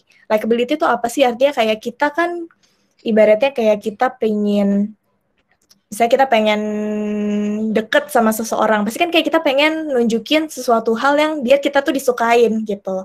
Jadi kayak kita harus fokus menceritakan apa yang memang tidak tertulis di resume, tunjukin bahwa kamu itu seorang yang warm, yang mudah disukain dengan cara kita bercerita ataupun berbicara, dengan cara senyum, membungkus uh, sebuah informasi itu dengan tell a story, terus kayak remember their name gitu, kayak misalnya, oke okay, Pak Edi gitu, oke okay, Pak, oke okay, disebut namanya, gitu. Dan speaknya positively gitu. Jadi di situ kan kayak nunjukin oh orang ini anaknya warm anak ini orangnya nggak angkuh nggak nggak keras kepala kayak gitu. Nah di situ juga penting untuk di uh, diterapkan. Nah, terus yang kedua tadi, ask question that get interviewers talking. Jadi ketika orang kan seneng ya kalau ditanya, misalnya kayak kamu ketemu teman lama gitu, eh apa kabar, gimana kabar si ini, kabar si dia gitu. Itu kan artinya kayak kamu penasaran gitu tentang tentang dia ataupun tentang kapan ini tersebut gitu. Jadi perlu juga untuk kayak deep research tentang pekerjaan itu uh, sebelum uh, kita masuk mulai interview gitu. Sehingga kalau misalnya kita tahu tentang industrinya kita bisa membangun percakapan-percakapan yang menarik gitu. Jadi di situ kayak nanti kita bisa dapat juga informasi juga kita bisa dapat uh, apa namanya feedback banyak dari interviewer gitu. Nah yang ketiga itu get to know your interviewer. Biasanya kan kalau misalnya di undangan interview ketahuan ya, uh, kamu akan mendapat interview dari siapa, uh, posisinya apa. Biasanya sih kamennya seperti itu, bakal dituliskan siapa yang akan menginterview kamu. Nah di situ tuh it's okay untuk kayak cek LinkedIn profilnya, kayak kamu cari tahu dia posisinya sebagai apa, atau kayak achievement achievementnya apa, dia dia fokusnya bekerjanya sebagai apa. Jadi tuh di situ kalian kayak punya uh, clue gitu, nanti bisa kayak dibahas ketika dikasih kesempatan untuk bertanya, kalian bisa ngebahas sedikit, oh Mbak, kayak saya uh, saya baca di LinkedIn profile atau kayak saya sempat tahu kalau misalnya Mbak itu pernah di project ini. Misalnya kayak kamu karya tentang project tersebut kayak gitu. Tapi again di dengan cara yang polite, dengan cara yang sopan gitu. Karena pasti orang tuh seneng kan kalau misalnya dicari tahu gitu. Orang tuh seneng kalau misalnya dia itu perhatian sama kita kayak gitu. Yang keempat, think of the interview like a movie plot. Nah, ini kadang yang suka uh, kita itu kadang kan sering ya ketika misalnya kita melakukan sesi interview di awal tuh kadang suka ngerasa nggak works. Aduh, tadi gue salah ngomong gitu. Aduh, yang ini tadi nggak kesebut kayak gitu jangan khawatir, tetap santai karena sesi interview itu tuh like a movie like a movie plot gitu. Jadi awalnya mungkin biasa-biasa aja tapi ketika misalnya kalian enggak, duh kayak tadi kurang. Oh, di tengah gue kasih nih klimaksnya gitu biar lo kaget gitu kan. biar lo makin emes sama gue gitu. Nah, terus di akhir kayak kita makin smooth lagi sampai akhirnya nanti ada dinamika di di conversation itu gitu. Karena kan kalau misalnya kita ngobrol tapi kayak nggak ada sesuatu yang menarik kan pasti rating filmnya kan bakal jelek-jelek aja kan gitu. Tapi ketika misalnya di situ kita memberikan dinamika, ada yang kayak ceritanya biasa-biasa aja terus terus kalian kasih cerita yang paling klimaks, pengalaman kalian yang paling klimaks tuh apa sih? Baru nanti uh, terakhirnya bisa ditutup dengan lebih smooth gitu. Jangan lupa untuk senyum, express interest, terus selalu say thanks to the interview dan sebut namanya gitu. Nah, yang kelima nih yang kadang suka lupa juga. Be amazing to everyone you encounter gitu. Jadi misalnya kalian uh, let's say kita apa namanya interviewnya itu offline ya kita datang ke perusahaan terus uh, biasanya tuh kita suka lupanya adalah kita tuh sejak datang belum posisi interview mode gitu belum posisi yang siap. Kayak misalnya kita acuh ke satpam gitu misalnya kayak ke ada di lift terus kita setengah gitu sambil main handphone gitu kan. Nah itu tuh kayak perlu dihindari. Kayak kita harus bisa menempatkan diri kita ketika sudah datang ke suatu tempat interview itu sudah interview mode gitu. Kita tuh dinilai oleh semua orang yang kita temuin gitu. Karena kan who knows gitu. Oh tadi gue ngeliat tuh dia di lift begini begini begini kayak gitu. Nah itu kayak itu sebuah hack untuk kalian bisa lebih prepared gitu ya. Jadi harus bisa uh, give your best version. Ibaratnya itu kayak udah on gitu interview mode-nya dari sejak kalian sampai di tempat itu gitu oke okay. Gimana? Makin banyak pertanyaan, seru banget nih kayaknya. Boleh balik lagi ke Kak Hesti? Oke. Okay. maaf nih. Mungkin Kak Hesti bisa cerita dulu kali ya Kak Hesti, kalau di startup tuh uh, step by step interviewnya seperti apa? Kalau tadi kan aku dari segi korporat ya, yang di mana itu tadi dari uh, screening recruiters, terus user, langsung ke board of director dua kali. Nah kalau di startup sendiri tuh gimana Kak Hesti? Oke, jadi kalau startup pun sebenarnya ada variasinya ya Kak Pus ya, jadi nggak melulu semuanya sama. Uh, ada yang diawali dengan case study dulu, uh, atau mungkin kayak screening test gitu, untuk memvalidasi nih orang yang layak nggak sih, nih, nih orang tuh serial applicant nggak sih.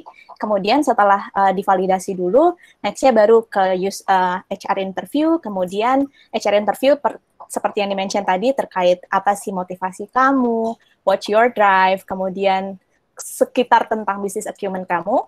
Nextnya kalau misalnya uh, oke, okay, nextnya ke user, user interview. So user interview ini adalah orang-orang yang um, mungkin nantinya akan jadi atasan teman-teman atau mungkin orang-orang yang merupakan stakeholders teman-teman nantinya. Misalnya teman-teman menjadi data analis, nantinya stakeholdersnya mungkin dari tim produk atau mungkin dari tim marketing, dari tim-tim bisnis seperti itu.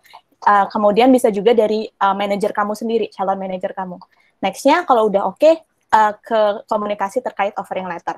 Tapi ada kemungkinan juga case study-nya itu setelah HR interview dulu nih kak. Jadi yang pertama lalu uh, case study dulu, kemudian baru ke user dengan kamu nge-showcase apa sih hasil uh, case study kamu. Gitu sih, Kak. Uh, long story short-nya. Oke, okay. aku lanjutkan ya, Kak ya.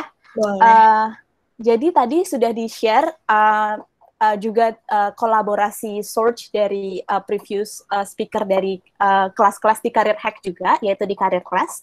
Ada lima, stepnya. Dan tadi penting juga uh, probability kita bisa sampai uh, di, dipanggil. Jadi it's very important step awal bangetnya yaitu make sure your application your CV um, kemudian mungkin cover letter atau apa pun portofolionya itu tuh baik saat kita aplik uh, saat kita apply. Dan make sure juga itu bisa di read ya kak ya. Di, karena most likely tuh sekarang udah semuanya uh, langsung ke transfer gitu. Jadi uh, misalnya di di box of work experience langsung ke translate dari apa pun yang ada di CV kamu kemudian uh, di, dimasukin gitu ya kak ya.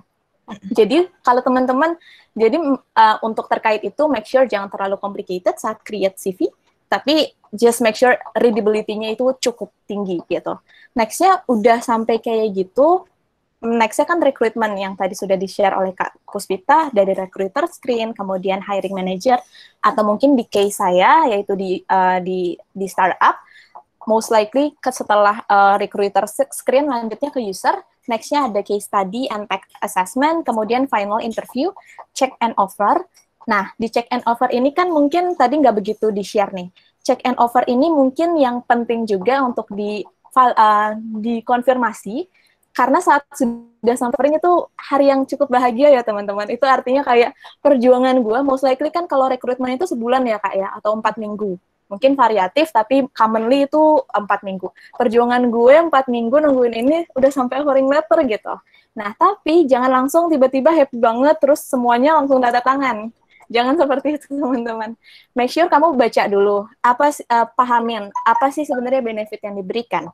Um, apakah uh, angka yang diberikan, beri, diberikan itu adalah gross salary atau net salary. Kemudian benefit-benefit lain seperti BPJS ketenagakerjaan, BPJS kesehatan, insurance insurance, kemungkinan kita live kayak gimana, misalnya annual leave-nya itu satu kali dua, 12 bulan, eh satu kali sebulan maaf, ngaco.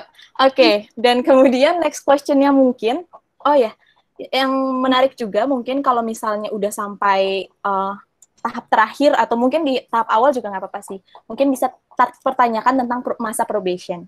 Uh, Kak, coba kalau aku boleh tanya di kampus uh, di oh. corporate juga ada masa probation dan berapa bulan? Jadi kalau di kebetulan di Astra Group ini kayak mungkin hampir semua Astra Group konsepnya kayak gitu. Jadi kita yang namanya itu adalah trainee gitu. Jadi mirip-mirip MT, tapi beda-beda ya uh, packagingnya. Kalau aku waktu itu selama satu tahun. Jadi selama satu tahun itu kita disebutnya uh, trainee. Jadi kalau misalnya di company itu bisa kayak ada golongan-golongan kan. Nah golongannya itu adalah T.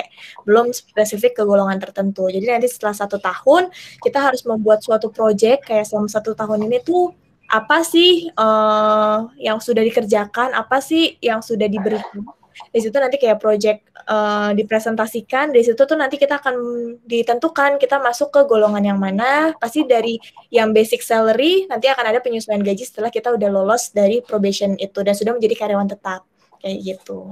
Oke, jadi sekitar setahun ya kan uh, trainingnya kalau di specific case ka kapus. Kalau misalnya boleh share di startup most likely tiga bulan atau mungkin juga ada yang enam bulan nih kak.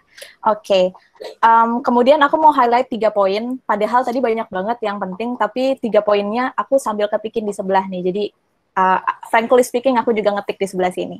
Yaitu nggak usah uh, nggak uh, usah to detail at first. Uh, eh like movie like movie plot sebenarnya ini adalah highlight yang dimention oleh Kapus tadi.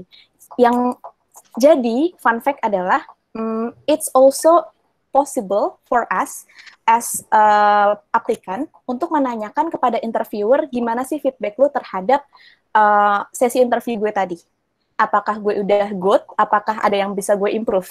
Nah, that time aku pernah mengimplementasikan ini. Jadi aku tanya ke ke interviewer, uh, menurut kamu gimana uh, interview aku? Nah, that time dia mention bahwa make sure di awal jangan terlalu mention to detail about yourself.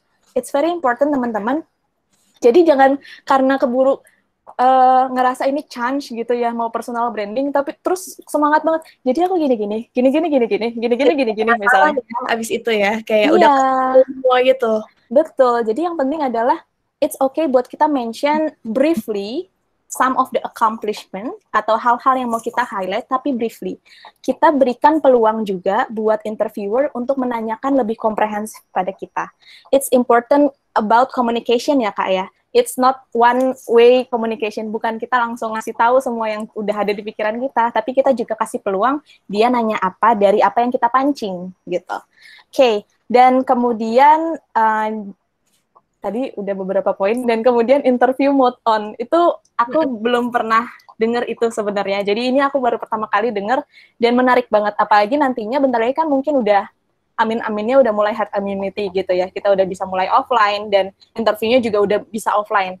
It's important buat kita udah sumringah dari awal, itu udah ya udah positive vibes. betul positive vibe. At the plus gitu. Iya betul kak. Jadi kayak gitu ya teman-teman.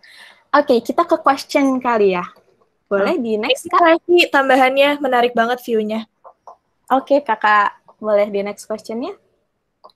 Oke, ini kayaknya aku lupa nambahin slide untuk nge-view. Share dari sini ya. Oke oke it's oke. Aku baru ngeh juga. Ah, ah. Oke. Eh bentar. Screen-nya kecil soalnya. Nggak ketengok. Aduh, ada Alvin lagi. Bentar ya. Eh, nggak apa-apa deh Alvin lagi dulu deh. Karena Alvin aja nih yang mention namanya. Itu yang tadi. Oh, yang tadi ya? Kenapa namanya jadi ganti? Oh, kayak gitu. Coba yang kedua dulu ya, punten Alvin lagi. Eh, Kak, pada... Eh, yang pertama belum deh, Kak. Coba lihat yang paling atas, Kak. Maaf. Ya. Kak, pada umumnya interview itu menggunakan bahasa Indonesia atau bahasa Inggris dari Anonymous. Silakan. Oke, nah eh, itu biasanya gini, kalau sepengalaman aku biasanya tuh sering dimention ya. Eh, kadang juga ada yang dimention ketika di undangan kayak misalnya interview session will be uh, held in English kayak gitu bisa jadi.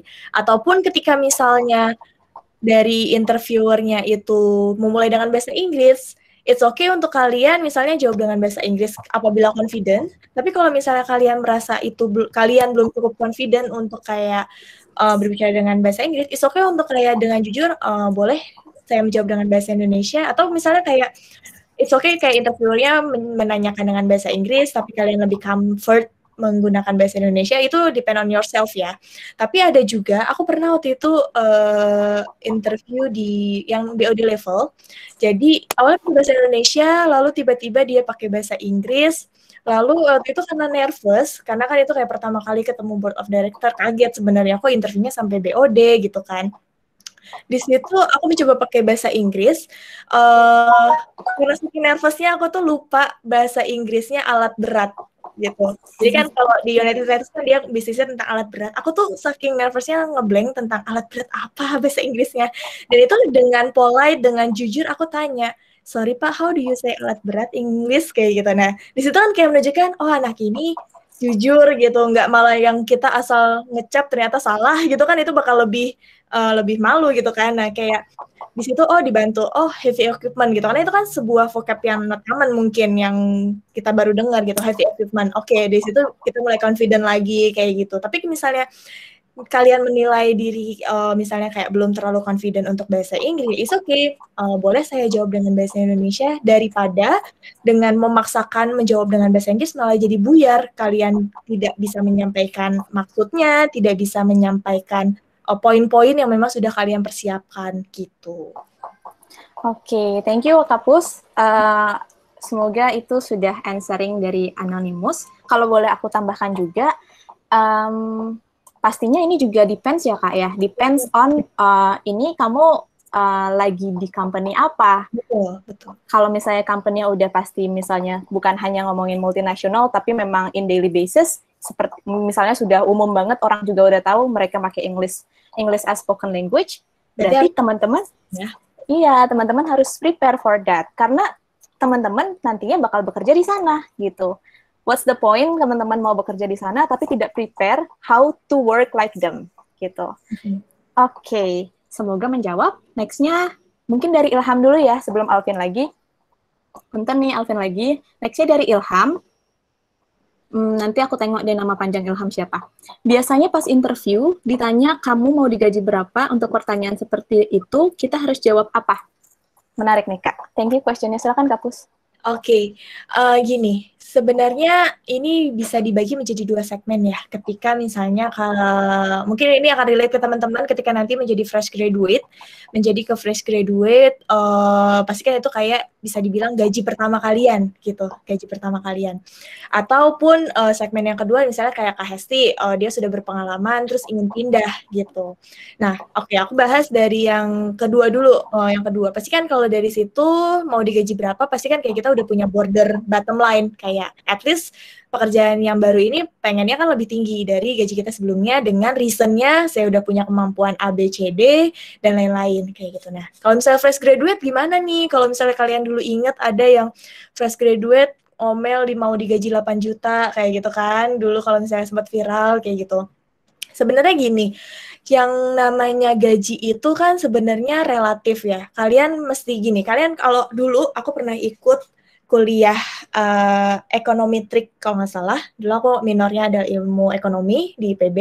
Jadi itu ada satu dosen, aku lupa dosennya namanya siapa, uh, perempuan, bilang, ketika misalnya kalian ditanyain mau gaji berapa, misalnya uh, kalian harus ini, sebutin aja dengan secara detail, misalnya kalian merasa gajinya itu, kalian pertama, again, kalian harus research dulu kayak misalnya uh, rata-rata UMR di tempat itu berapa gitu jangan sampai di bawah UMR gitu kan terus juga biaya hidup di sana gitu.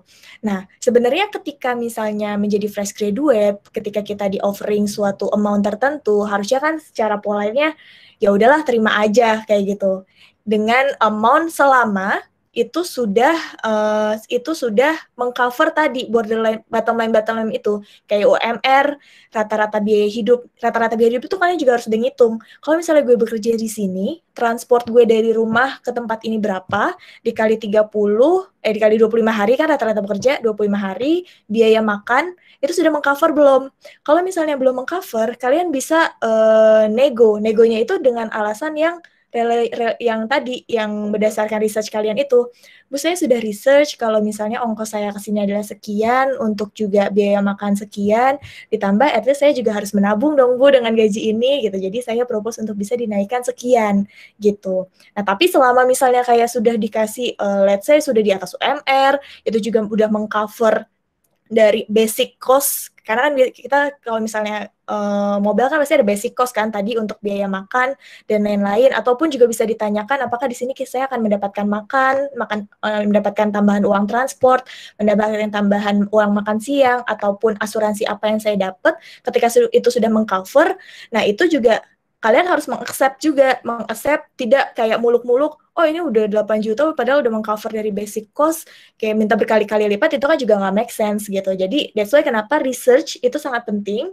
Kayak tadi apakah basic salary ini itu juga sudah mengcover at least basic cost kita dan juga kalian bisa menabung. Di situ ada sisa nggak yang pas-pas banget gitu kan. Itu kan nanti kalian bakal sacrifice yourself kan ketika itu pas banget gitu. Nah jadi di situ akan menjadi alasan kalian yang lebih masuk akal lah untuk bisa nego gitu. Di situ poinnya. Sama tadi juga udah dimention sama KSP kita juga harus bisa kritis kita harus detail kayak kalau boleh saya tahu proses perkembangan gaji di sini seperti apa, misalnya kayak bagaimana saya bisa meningkatkan gaji saya, kayak gitu. Kayak misalnya kan kalau company itu ada kayak jenjang karirnya dari golongan per golongan, nah itu kesempatan kalian untuk lebih tahu, lebih paham. Ataupun juga benefit yang akan saya dapat apa, misalnya, oh di sini kamu nanti akan dapat makan siang gitu. Jadi sebenarnya uang makan siang kamu bisa di saving. Oh di sini nanti juga ada tunjangan transport, tunjangan komunikasi, kayak gitu. Nah jadi sehingga misalnya kayak basic cost-nya tuh bisa dibilang kecil, tapi bisa jadi ada tunjangan-tunjangan lain yang sebenarnya belum kalian tanyakan, kayak gitu. Oke, Kapus, thank you. Tadi aku udah cari nih namanya, ada namanya Ilham Himawan. Benar nggak namanya? Ilham Himawan. Boleh mungkin unmute yourself, uh, ngobrol sama Kapus just in case belum terjawabkan misalnya, atau ada another feedback? Kayaknya, oh ya, ya silakan. Iya, ya, Ada kejawab kok tadi. Oke. Okay. Yang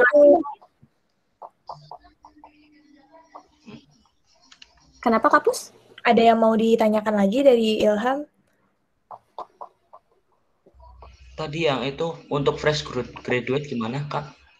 Oke, okay, tadi ya untuk fresh graduate dari segi amount, at least kalian udah research yang ditawarkan itu tuh akan cukup pemenuhi basic cost kalian, di mana basic cost itu pasti terdiri dari uang transport, uang makan selama 25 hari bekerja dalam satu bulan, dan juga masih ada uh, untuk kalian saving. Saving itu kan pasti kalian gunakan untuk kayak save tabungan kalian, untuk kayak memberikan ke orang tua, atau untuk gaya hidup kalian, kayak gitu. Jadi, amount yang kalian terima itu juga make sense, dan ketika misalnya mengajukan untuk penambahan, itu juga make sense alasannya, gitu. Siap Kak. Terima kasih Kak. Oke. Okay. Oke, okay, thank you Ilham. Jadi tadi sedikit direkap. Yang penting adalah research. Dan ada yang namanya glasador ya kak ya. Jadi tengok misalnya data analis di Gojek misalnya data analis Gojek gaji berapa. Di situ most likely udah di share nih reviewnya berapa untuk fresh graduate misalnya atau level apa pun itu. Nah kemudian juga pahami UMR berapa. Pastinya jangan sampai di bawah UMR. Hal-hal seperti itu sih. Dan basic needs teman-teman kayak gimana. Gitu ya. Uh, kalau uh, ah, next aja deh karena nanti kepanjangan kalau ngomong. Bol uh, satu question lagi boleh kak? Boleh. Uh, mungkin ke yang paling atas ini bagaimana dari anonymous tapi harapannya bisa ngobrol nanti soalnya questionnya menarik. Bagaimana caranya tetap tenang ketika interviewnya uh, interviewernya terkesan mengintimidasi? Silakan kak Oke, okay. okay, nah ini menarik nih pertanyaannya. Um, untuk tetap tenang ketika interviewer interviewnya terkesan mengintimidasi. Sebenarnya gini, tipe orang itu kan berbeda-beda ya.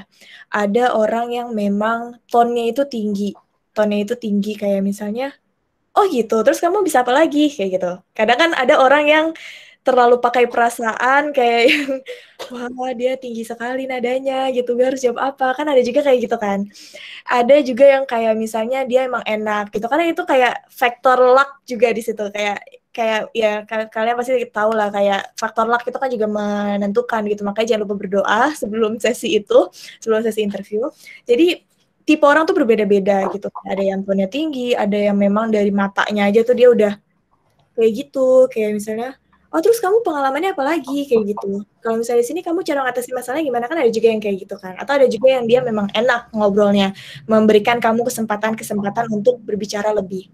Again ini adalah balik lagi ke dalam mindset gitu. Mindset kalau misalnya tujuan dari interview ini adalah untuk mengetahui kemampuan kamu yang pasti secara nggak langsung tidak ada suatu maksud interview untuk mengintimidasi. Itu hanya berbeda cara saja. Berbeda cara, hanya kebetulan aja nih, let's say dia memang intonasinya tinggi, dia memang nadanya tinggi, oh dia memang gesturnya kayak gitu. Karena kan kita tidak bisa merubah orang kan, kita nggak bisa merubah orang, tapi yang kita bisa adalah gimana sih kita bisa mengatasi itu atau memberikan respon kita atas apa yang kita alamin gitu. Yang perlu dilakukan adalah pasti stay calm. Ingat lagi bahwa ini adalah uh, tujuan kita adalah untuk show showcase ourselves gitu. Kita harus ignore tuh dengan intonasi tinggi mereka, dengan gesture mereka yang mungkin bisa dibilang kurang sopan, misalnya kayak mereka selangin tangan atau tangannya nunjuk-nunjuk kayak gitu. Itu kita harus ignore gitu. Bodoh amat lo mau begitu, yang penting ini kesempatan gue untuk cerita tentang diri gue kayak gitu. Jadi harus tetap uh, strict to the your objective gitu Kayak misalnya ketika misalnya kamu dijudge, nah misalnya kamu dijudge, oh berarti kamu nggak bisa dong mengerjakan itu. Mohon maaf, saya tidak seperti yang Bapak pikirkan, tapi saya bisa memastikan bahwa saya punya kemampuan ini-ini, kayak gitu. Jadi, kamu harus bisa mengembalikan ini kayak, judging kamu salah terhadap kita, sorry bos, gitu. Jadi kita harus sombong dulu, gitu. gitu, itu, itu penting loh itu penting loh kayak kita harus punya feel sombong jadi ketika ada orang yang berusaha untuk menjatuhkan berusaha untuk judging dalam hati tuh kayak gini, eh lo belum tahu siapa gue, santai dulu bos gitu. Jadi kayak anggap sesi interview tuh kayak lo ngobrol, karena kan pasti kita juga punya ya teman yang kadang suka ngegas, teman yang kadang suka dia langsung judging sebelum kita ngomong tuh dia langsung judging gitu, kayak ya keep calm aja, kayak gue punya sesuatu loh yang mau gue sampaikan tadi, thing like a movie plot. Kalau misalnya di awal kamu rasa kayak ini orang kok gitu, ya keluarin klimaksnya sampai akhirnya dia bisa amazed sampai akhirnya nanti dia bisa tone down intimidatingnya itu gitu ingat oh, dari awal gitu oke okay. ya gitu. oke okay, thank you kak itu suatu tips yang jarang aku dapetin tapi beneran loh itu works itu penting loh Oke, okay. uh, eh, mungkin uh, kalau aku boleh nambahkan juga dari experience aku juga, Kapus, uh, sebenarnya teman-teman kalau saat kita di posisi di, uh, terasa terintimidasi, uh, sebenarnya mau uh, ulang part kapus juga tadi dulu. Ada kemungkinan ya memang interviewer kita ya seperti itu. No offense tapi misalnya orang Batak gitu. Saya sendiri orang Batak ya. No offense nih. Ya ya kan no offense bisa jadi memang ya seperti itu. Akan tetapi saat sebenarnya kita di posisi rasanya kayak terintimidasi, sebenarnya bisa jadi itu sebuah simulasi apabila ini saat kamu jadi employee, kalau kamu dalam let's say ada pressure dari stakeholder sana, stakeholder sini, apa sih yang bakal lo perbuat gitu. Nah, sehingga it's very important untuk kita keep calm. Kayak gimana caranya? Seperti yang tadi udah di-mention, salah satunya adalah mungkin kita bisa paraphrase questionnya. Questionnya misalnya terkait, terus kalau misalnya ini kayak gini, ini kayak gimana? Jadi Pak, kalau misalnya ini kayak gini, pastinya kalau misalnya ini kayak gini, kita mulai dengan tahapan pertama ini, paraphrase dulu questionnya, kemudian coba elaborate sedikit, demi sedikit, satu persatu, apa sih solve, uh, solving action yang bisa kamu um, propose ke mereka untuk solve the problem. Karena pada akhirnya yang mau dilihat itu adalah apakah kamu problem solving, uh, problem solver, kemudian apakah kamu critical thinker, dan apakah memang kamu tuh um, pantas deserve this job. Nah, jadi itu ya teman-teman harap um, karena saat situasi intimidasi tercipta bisa jadi memang itu sedang simulasi ya kak ya? Betul betul. Sebuah tes gitu. Atau sebuah tadi tes. ya aku tuh mengalami banget rasa intimidating ketika uh, kaget.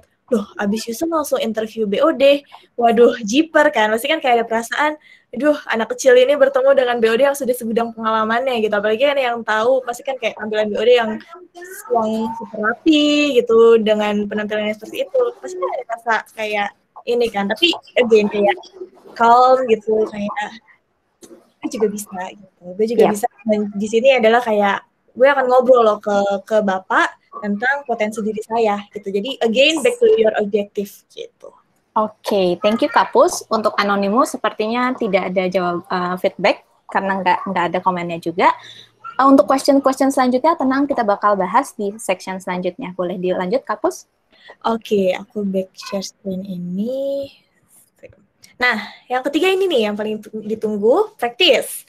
Kalau tadi Alvin udah mempraktiskan tentang smile voice gitu. Terus juga tadi kan kita udah belajar beberapa uh, beberapa poin-poin basic communication skills dari mulai kayak uh, tadi 7C, terus juga tentang hacky-hacky way-nya, bagaimana kita bisa menyampaikan informasi, be edit, give value edit atas apa yang kalian ketahui. Nah, sekarang aku praktis. Ini aku punya tiga simulation question. Yang pertama adalah, uh, oh ya, yeah, yang pertama adalah ayo kita open cam. Aku yakin sudah satu jam lebih teman-teman tadi yang cuci muka juga udah lumayan seger. Bisa open cam. Terus yang pertama, let's start from basic, introducing yourself. Oke, okay, coba di KHSI boleh dibantu, boleh dua orang untuk uh, introducing yourself. Basic pasti kan uh, di sesi pertama interview coba dong kamu perkenalan diri kamu kayak gitu. Nah, itu poinnya boleh agak lebih dikembangkan kalau tadi mungkin Alvin baru kayak uh, kuliah di mana, dream jobnya apa, tapi ini boleh kayak memperkenalkan diri kamu, siapa kamu, sebenarnya kamu punya interest apa, ataupun itu boleh di, kayak kasih durasi 1 sampai 2 menit untuk bisa sesi introducing yourself ini. Oke, okay, thank you Kapus. Kita lihat nama-namanya. Sebelumnya mungkin se sebelum kita pick, ada mungkin yang mau volunteer yourself? Kita kasih waktu 30 detik sambil aku lihat-liatin nama nih, Kak. Siap-siap ya. Kalau aku sebut nama, open cam. Oke, langsung open cam loh dari Ilham. Thank you, Ilham. Kemudian, ini really, really appreciate loh sama teman-teman yang open cam. Next-nya, kayaknya udah 20 detik lagi sisanya. Aku lihat dulu namanya. Oh iya, um, nanti juga di akhir masih ada ini ya, tadi yang dipertanyakan oleh Alfian kayak uh, be aware of the red flags gitu. True. Kayak last senjatanya tuh ada di belakang, jadi jangan left dulu ya. ya betul, don't left yet. Oke, okay, mungkin karena 30 detik yang sebenarnya tidak aku hitung sudah habis, um, bisa dari, I don't know ya, dari satu cewek, satu cowok kali ya, Kak, biar representatif. Dari karena tadi cowok dulu, sekarang cewek. Mungkin Viga Anissa? Namanya menarik nih. Mungkin bisa mention your, um, uh, apakah bisa atau tidak ngobrol. Harusnya sih bisa ya. Viga? Nam uh, dipanggilnya siapa ya teman? Oh ya, yay. Oke, okay, buat Ra, kan dipanggilnya siapa? Eh, Revika Ika boleh? Iga. Oke. Oke. Silakan Kapus dari Iga dulu. Oke. Boleh? Halo. Silakan Iga Ah. untuk bisa memperkenalkan diri. Halo, nama saya Revika Anissa dari Universitas Brawijaya. Oke, mungkin bi- eh, gini, eh, misalnya pertanyaannya, eh, halo, misalnya aku ceritanya sebagai interviewer ya, gaya banget sebagai interviewer. Oke, s- halo selamat pagi Iga, terima kasih sudah mengikuti sesi interview ini. Boleh dong kamu ceritakan tentang eh, pengalaman kamu di waktu kuliah?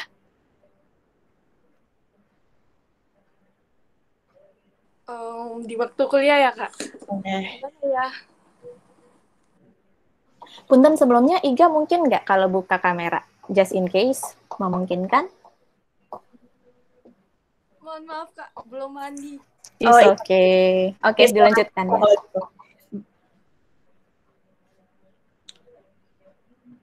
Gimana ya, Kak? Aduh, saya nervous nih. Eh, ayo take a day break. Ini ini ini suatu latihan loh.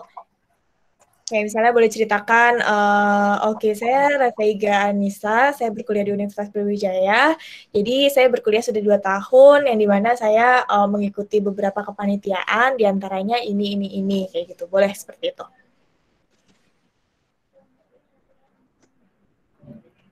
Eh, halo, nama saya Revika Anissa Tendirbau dari Universitas Brawijaya. Kebetulan saya masih semester 2, Kak. Mm-mm. Nah, dan saya belum belum sama sekali ngikutin kayak organisasi seperti itu. Ya mungkin karena gara-gara takut aja ya untuk public speaking seperti itu. Oke. Oke. Oke, berarti ber- pertama aku bilang say thanks dulu sama Iga baru semester 2 tapi udah mau join ini. Ini eh, keren banget sih. Berarti kayak one step ahead ya dibanding teman-teman yang lain. Oke. Eh mungkin kalau aku boleh koreksi sedikit, nanti Iga boleh pelan-pelan kita bar apa? Pelan-pelan untuk lebih apa ya? Untuk lebih confident lagi gitu. Jadi nanti Eh, aku yakin ini proses sih karena masih semester 2, 3, 4. Jadi nanti kamu udah tahu apa yang eh, harus dipersiapkan ke depannya ya. Thank you Iga sudah mau coba. Makasih Kak. Oke. Kak Hesti suaranya hilang. Tes.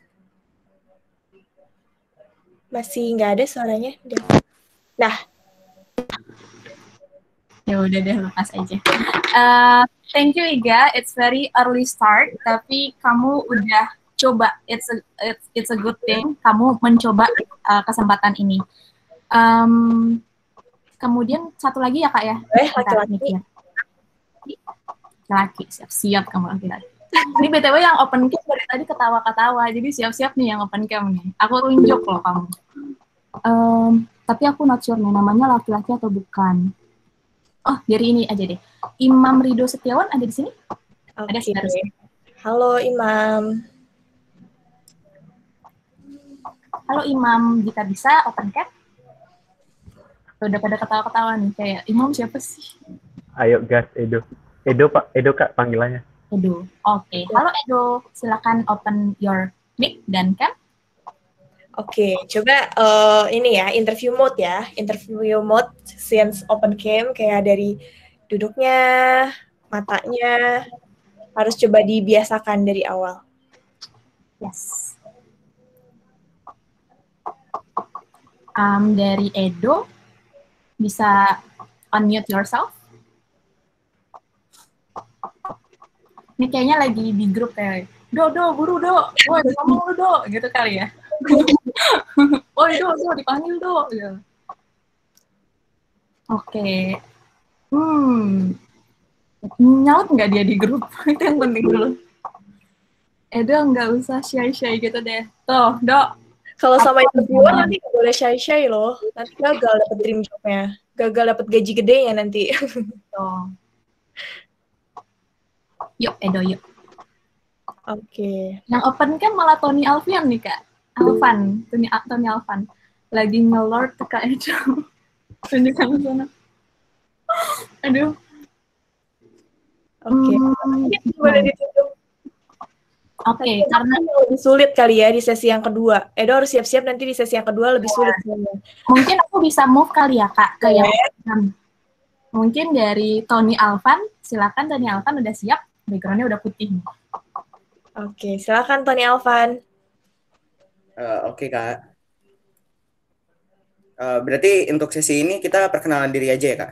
Oke, coba langsung dimulai kayak pakai gesturnya boleh, matanya juga udah mulai ini ya, sama tadi smile voice-nya menunjukkan kalau kamu eh, excited untuk nyoba introducing yourself. Boleh ceritain apa aja, kayak inter- kayak misalnya di kuliah kamu seperti apa, atau kayak interest kamu, aku kasih waktu 1 sampai 2 menit boleh. Eh, Oke baik, Eh, terima kasih atas waktunya. Eh, sebelumnya perkenalkan, nama saya Tony Alvan.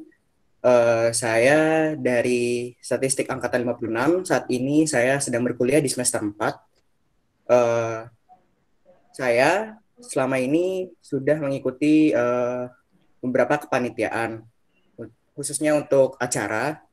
Sedangkan untuk organisasi saat ini saya sedang menjadi staf di eh, Departemen Analisis Data di eh, Himpro GSB begitu.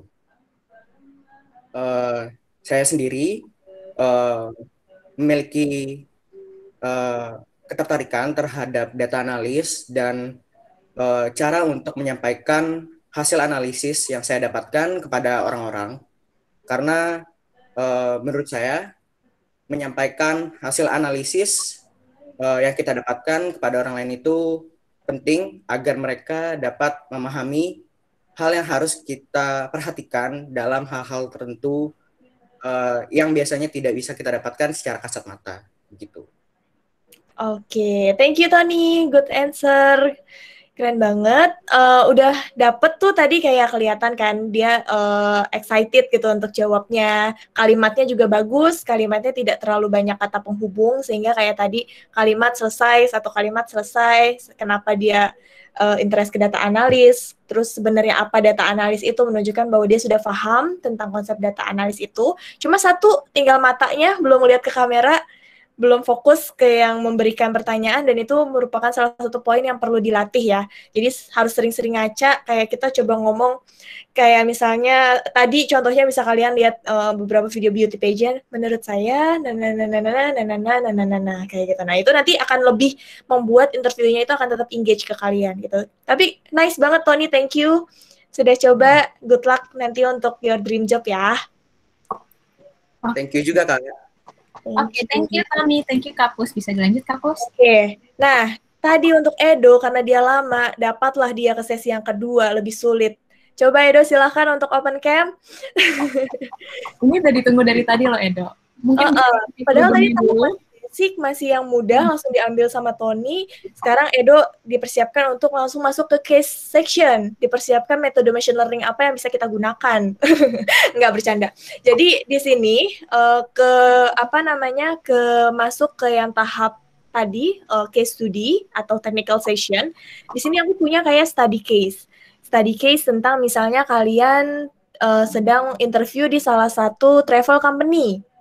Nah, terus ada suatu study case uh, travel company kan sekarang lagi di apa lagi kena dampak nih dari pandemi.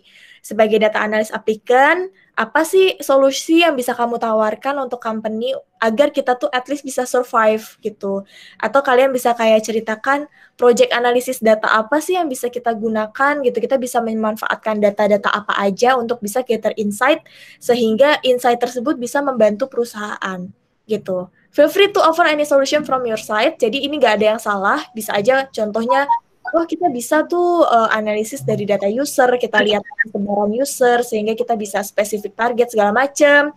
Dan ingat yang menjadi poin di sini adalah aware with your vocabulary dan sentence. Please uh, translate it in simple way gitu. Silakan, Edo.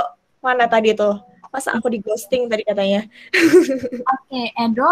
eh, tapi mungkin sebelum Edo, tiba-tiba ada angel voice nih. Sebelum Edo, mungkin kita mau tanya dulu mana tahu ada yang mau volunteer Boleh, yourself. boleh. Ini Ada yang udah step ya.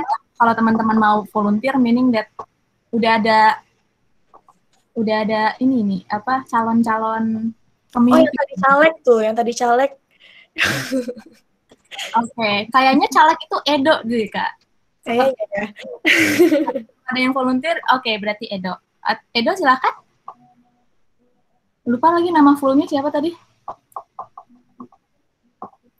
Coba Marta bantu nama fullnya Edo siapa? Gita siapa nama fullnya Edo?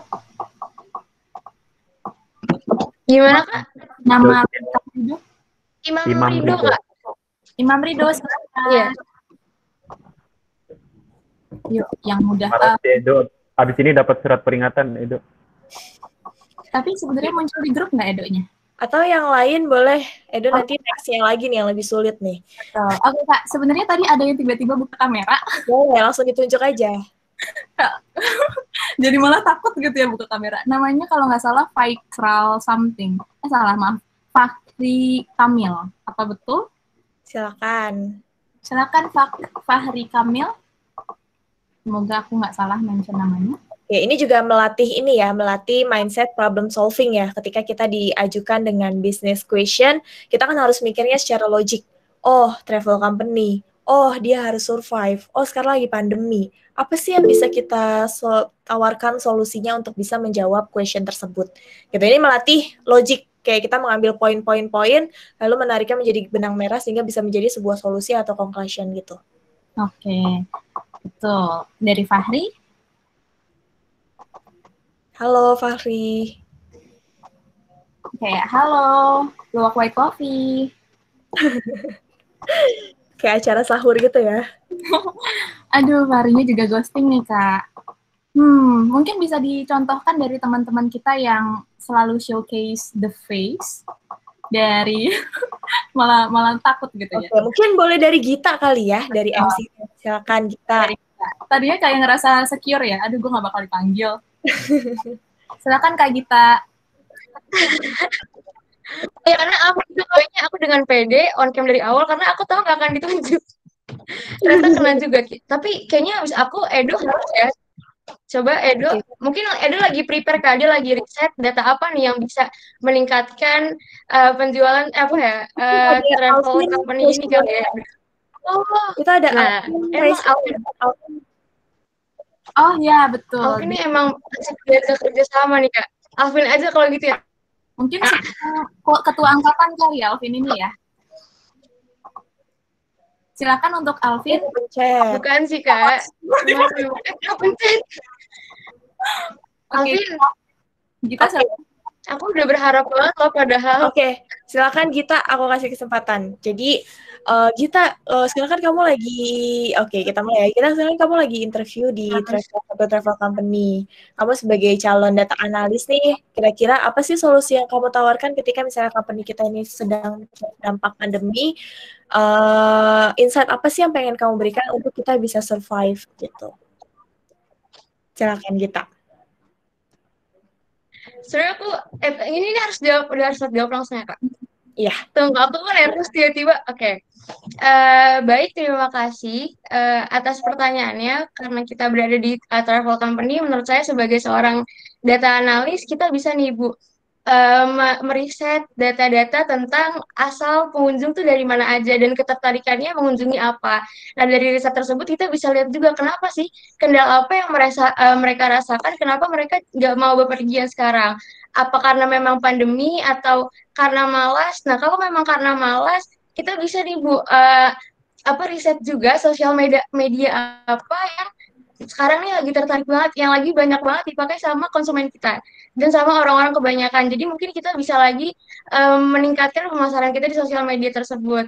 Mungkin kalau dari saya itu aja sih Bu sejauh ini solusinya. Oke, thank you. Nah, di sini mungkin poinnya yang aku dapat adalah kita sudah bisa mempropose, mempropose itu maksudnya kan, mempropose, uh, mempropose beberapa analisis yang memang akan dilakukan. Kayak tadi kan, oh kita data exploration dulu bu dari data demografi, demografi uh, user, lalu oh kita bisa melakukan social media analisis kayak gitu. Nah itu tuh menunjukkan bahwa oh kita udah common nih dengan data exploration, udah common dengan beberapa project contohnya kayak sentiment unroll social media analysis kayak gitu. Teman ya kita thank you. Thank you Kak. Oke, mungkin kita bisa lanjut ke yang final interview. Boleh, boleh. Ini final interview yang kata kuncinya adalah be prepared with tricky question karena pengalaman waktu itu aku ketika wawancara dengan BOD, BOD, BOD, kita malah bahas tentang ekonomi gitu kayak kamu tahu gak sih isu yang lagi sekarang gitu? Menurut kamu gimana tuh pandangannya tentang itu kayak gitu? Nah again ketika misalnya kalian dihadapin dengan yang seperti itu, kalian mesti ya jawab sesuai pandangan kalian. Pun misalnya nggak tahu aduh mohon maaf pak saya belakangan ini sibuk menyiapkan interview jadi saya tidak baca berita kan bisa jadi peres sedikit kan gitu. Karena saya terlalu fokus dengan interview ini jadi saya tidak membaca berita pak kayak gitu. Pun kalau misalnya kalian tahu tentang isu tersebut ya kita kayak ngobrol aja kayak yang gosip membahas suatu topik-topik tertentu.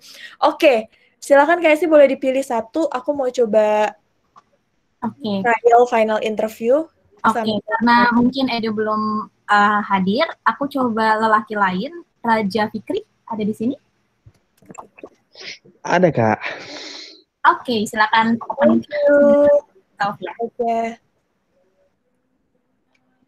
Hmm, Tadi uh, jawabnya gimana, Kak? Oke, udah boleh bisa open cam kah? Biar saya coba dulu ya. Oke, boleh. Ah, kok ada biru doang ya? Kayak kayak bener dulu kayak open, open cam lagi error. Bisa, Oke. bisa. Tadi saya ngejawab apaan tuh, Kak? Lupa. Belum, belum, belum ditanyakan Oh, pertanyaan. belum. Oh, belum. Heeh. Dikira itu udah maaf. Udah interview mode on belum nih? Udah interview mode on belum? Insya Allah udah sih, Kak. Udah. Oke, kalau gitu langsung Ya. kita mulai aja ya. Oke. Eh, misalnya aku ceritanya board of director gitu kan. Udah udah udah final interview yang kayak benar-benar udah kayak nentuin nih, ini anak layak atau enggak di company atau di pekerjaan ini. Oke, thank you Raja. Eh, sebelumnya aku mau ucapin selamat ya untuk kamu sudah berhasil melalui beberapa step interview dan ini kita masuk ke final interview eh, tentunya tujuannya pengen kita pengen tahu nih sebenarnya kamu itu seperti apa kalau misalnya kalau kamu menceritakan diri kamu seberapa apa namanya bagaimana sih cara kamu ketika misalnya nanti dihadapi dengan deadline yang begitu besar bagaimana kamu bisa mengatasi hal tersebut deadline yang begitu padat dan load pekerjaan yang mungkin lumayan besar bagaimana kamu bisa mengatasi hal tersebut Raja Oke, eh, baik. Terima kasih atas pertanyaannya. Mu- kalau misalkan untuk mengatasi hal tersebut, sebenarnya ya tinggal eh, kalau dari saya sendiri ya, kalau saya lebih sering itu kayak membagi-bagi tugas, terus membagi juga kayak apa sih sebenarnya yang lebih penting kan kalau deadline itu kan jarang gitu ya kalau misalkan itu tuh eh, bebarengan gitu deadline-nya itu, tapi kebanyakan itu terbagi di waktu-waktu yang dekat gitu biasanya kalau sibuk itu. Nah, kalau saya itu melihat eh, kira-kira prioritas yang lebih tinggi itu eh, yang mana dulu harus saya kerjakan. Nah, saya ngerjainnya dari situ. Sehingga nanti kalau misalkan udah terstruktur gitu ngerjainnya, itu tuh insya Allah dari saya sendiri itu nggak akan memberatkan diri saya sendiri. Karena sudah ada struktur dan sudah ada tahap-tahap yang udah pasti gitu untuk saya eh, untuk saya kerjakan. Seperti itu. Oke, thank you Raja. Ini good ya. Kalau tadi eh, aku bisa men yang aku dapat dari seorang raja ketika cara menjawab dia seperti itu itu tuh nunjukin bahwa raja itu orangnya adalah terstruktur. Karena dia mengucapkan kata terstruktur itu tadi beberapa kali. Dari situ aku bisa dapat oh raja ini orangnya pasti punya manajemen yang baik karena dia tidak akan membiarkan dia ada di dalam uh, posisi yang deadline atau load terlalu besar itu karena dia akan benar-benar melakukan prioritize akan membagi-bagi porsi pekerjaannya sehingga hal tersebut tidak akan terjadi gitu. Itu bisa terlihat kayak dia mengucapkan terstruktur berapa kali beberapa kali terus juga uh, lihat kayak porsi-porsi itu juga harus diperhitungkan gitu. Sehingga nanti insya Allah ke depannya tidak akan uh, kesulitan untuk bisa menghadapi itu. Nah itu poin-poin penting gitu maksudnya kan secara nggak pasti aku yakin Raja secara nggak tidak secara langsung ingin menunjukkan bahwa saya orang yang terstruktur loh Pak. Kayak gitu. Nggak juga gitu kan. Tapi dengan jawabannya itu secara implisit kamu pengen menunjukkan eh, kamu pengen menunjukkan bahwa saya orang yang terstruktur. Ataupun bisa dengan saya ini punya jiwa leader yang ini Pak, saya punya jiwa leader yang bagus dengan cara misalnya ketika saya mendapatkan deadline yang begitu banyak ataupun load yang begitu besar, saya akan coba reach teman-teman yang memang satu tim dengan saya. Di situ di situ kita akan coba bagi mapping bagaimana cara menyelesaikan ini. Nah, di situ kan secara implisit terlihat oh orang ini punya jiwa lead. Orang ini punya uh, problem solving dengan cara membagi proporsi-proporsi pekerjaan itu ke teman-temannya sehingga problemnya bisa teratasi. Nah, kurang lebih seperti itu tricky-tricky questionnya yang secara implisit bisa kalian sematkan nilai-nilai positif kalian dari jawaban kalian gitu. Thank you Raja. Oke, thank you Raja. Sama-sama Kak. Oke, penting banget tadi ya managerial skill-nya dapat dari Raja. Dan interview mood-nya walaupun nggak pakai eh, kamera juga berasa ya kak ya? Iya, tadi kelihatan kan kayak dari intonasi dia berbicara bahwa yakin, terus juga eh, menjawabnya tuh pun dengan eh, yakin dan juga strict to the question gitu, nggak bertele-tele kayak ya kalau yang namanya deadline tuh ya udah gimana ya pak? Kayak gitu kan nggak nggak yang begitu kan tapi strict to the question gitu. Dan di situ kayak pengen menunjukkan gimana sih cara kita untuk bisa uh, solve the problem. Oke, gitu. Oke. Nah, kita thank you semuanya. Kita lanjut ke section selanjutnya. Oke, nah eh, sebelum Q&A section, mungkin mau recap dulu bahwa kita udah belajar ya tadi dari segi communication skills, recruitment process, dan juga interview, dan juga tadi udah practice. Thank you banget untuk teman-teman yang udah coba. Tadi ada Iga dari UB, itu walaupun masih semester 2, tapi udah mau ikut ini, itu adalah good step banget di awal. Walaupun itu memang proses ya, mungkin semester 2 kita masih malu-malu, nanti semester 3, 4, semakin banyak pengalamannya, semakin terlatih public speaking dan juga communication skills-nya. Dan juga tadi kita juga udah belajar tentang recruitment proses dan interview, di mana kita udah sama-sama tahu kalau berdasarkan data interview stage itu memang suatu stage yang sangat penting karena hanya 18% loh yang bisa ke next step gitu. Jadi memang tidak boleh disepelekan. Kita harus bisa interview mode on sejak awal, mood juga harus dijaga, kondisi badan, diri sehingga nanti interviewnya itu bisa berjalan dengan lancar karena kita juga udah tahu apa aja yang perlu disiapkan. Gitu. Nah, ini tadi jawab pertanyaannya Alvin nih. Apa sih eh, red flags ketika misalnya kita dalam melakukan sesi interview. Karena ketika gini kan, misalnya kayak kita sesi interview, terus ada poin-poin ini, ibaratnya kan kita kalau lagi ngobrol sama orang, terus dia nggak nyambung, atau dia uh, annoying gitu, pasti kan langsung drop kan, kayak, duh males deh gue ngelanjutin ngobrol sama dia, kayak gitu. Pasti kan ada feeling-feeling seperti itu kan. Nah, that's why ini kita harus beware of the red flags. Nah, apa aja, kayak kita harus uh, confirm kalau misalnya kita nggak punya nggak punya uh, work history yang mencurigakan gitu. Ketika misalnya pun ada sesuatu yang nggak enak terjadi di pekerjaan kita sebelumnya atau di experience kita sebelumnya, kita harus bisa menjelaskan dengan baik kenapa itu bisa terjadi gitu. Atau lesson learning yang bisa kita uh, berikan, bisa kita utarakan sehingga kita bisa make sure bahwa hal tersebut tidak akan terjadi lagi gitu. Terus unexplained gaps in employment kayak uh, kita apa namanya ya kita tuh sebenarnya kalau dari segi resume tuh udah nggak capable gitu atas job tersebut. Tapi kayak kita masih keke untuk daftar sehingga kan sebenarnya tuh kita punya gap yang jauh gitu. Jadi sebenarnya kemungkinan untuk kita diterima tuh udah kecil gitu. Terus juga taking a lot in resume but couldn't share anything during interview. Artinya tuh kita cuma textbook doang apa yang ada di resume ya udah kita sebutin aja tapi nggak dikembangkan lagi nggak di, nggak dibuat storyline-nya lagi. Terus juga nggak menjawab apa yang udah ditanyakan main langsung boleh next question atau kayak di skip gitu. Ataupun kita juga menanyakan apa yang sudah ditanyakan sebelumnya. Jadi kayak kita memang harus fokus ketika sesi interview itu sebisa mungkin tidak mengulang apa yang sudah ditanyakan gitu. Serial applicants artinya tuh adalah orang yang ya udah daftar-daftar aja tapi kayak dia tidak mempersiapkan diri nya dengan baik ataupun tidak berusaha membuat dirinya tuh cocok dengan pekerjaan yang didaftar sehingga kan itu nanti akan menjadi wasting time dari kedua belah pihak kan. Dari kita kandidatnya juga wasting time karena sebenarnya peluangnya kecil dari segi recruitersnya juga wasting time. Terus juga me me people itu orang yang terlalu subjektif pokoknya saya begini, saya begini, saya begini, saya nggak peduli dengan orang lain, nah itu juga harus dihindari. Terus juga uh, berbicara yang buruk tentang pekerjaan sebelumnya, ataupun kayak uh, kita terlalu concern dengan personal benefit, terlalu money oriented, kayak yang tadi ketika misalnya di, baru di awal udah nanya tentang gaji, udah nanya tentang jenjang karir segala macem, Nah, itu mungkin bisa diperhatikan step by step-nya. Pastikan tadi udah dijelaskan bahwa setiap stages interview itu ada coverage-nya, ada objektifnya. Jadi kita mesti ngeh dulu nih kita interview dengan siapa dan kita harus bisa uh, menanyakan atau kita membahas suatu topik-topik yang relate again kita harus stick to the objective adalah sesi interview adalah untuk kita bisa showcase siapa diri kita, kita bisa menawarkan potensi yang kita punya untuk bisa menjawab masalah-masalah ataupun bisa fit dengan uh, pekerjaan yang memang ditawarkan saat itu gitu. Next, kita bungkus semuanya di Q&A session. Silakan Kak Hesti. Oke, okay, thank you uh, Kak Pus.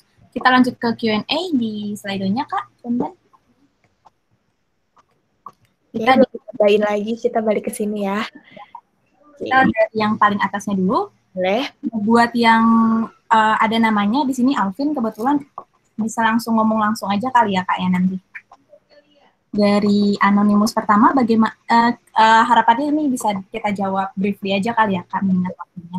Uh, bagaimana menghadapi lawan bicara yang terlihat tidak tertarik pada pembicaraan kita? Silakan kak. Oke, okay.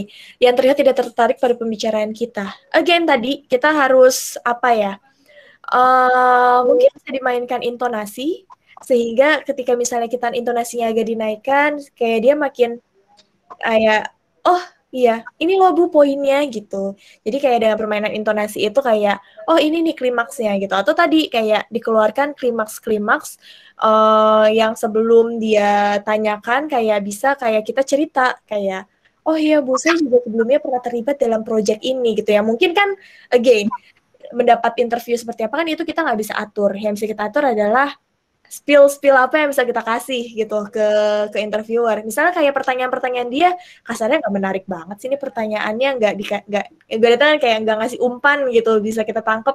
Ya udah, it's okay untuk kita yang kita yang ngomong kita uh, Bu kalau boleh cerita, saya juga dulu pernah ini loh Bu, gini gini gini gitu. Jadi it's okay. Jadi kita harus benar-benar aware dengan condition. Misalnya kalian udah capture nih, oh interviewer ini flat banget, pertanyaannya template gitu kan Nah, kalian bisa tuh obrolin yang memang menurut kalian itu menarik dan itu perlu kalian ceritakan.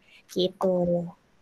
Oke, okay, thank you Kak. Uh, dari Anonymous, uh, mungkin tidak ada chat, berarti tidak ada jawab, uh, feedback. Nextnya dari Anonymous lagi, bagaimana cara menghadapi blank saat jawab interview? Oke, okay, blank berarti kan itu kayak kita nervous kayak tadi tuh, kayak tadi aku uh, blank bahasa Inggrisnya alat berat tuh apa gitu kan itu oke okay, kayak misalnya bisa ditanyakan lagi. Misalnya mohon maaf boleh dijelaskan lagi maksud pertanyaannya apa gitu. Karena kan ketika misalnya kita dapat waktu lagi tuh dia dijelaskan lagi pertanyaannya kita kan dapat kesempatan untuk mikir kayak oh maksudnya ini. Oh langsung keinget kayak gini. Atau tadi kayak misalnya kita mention ulang pertanyaannya apa terus kayak di dipanjangin dulu kita ngomongnya pelan-pelan. Oke kalau pertanyaan ibu tentang tadi pengalaman saya di masa kuliah. Nah kan kayak gitu kan kalian punya otak kalian tuh punya waktu untuk sepersekian detik remind lagi mampus gue mau apa tadi kan? gitu.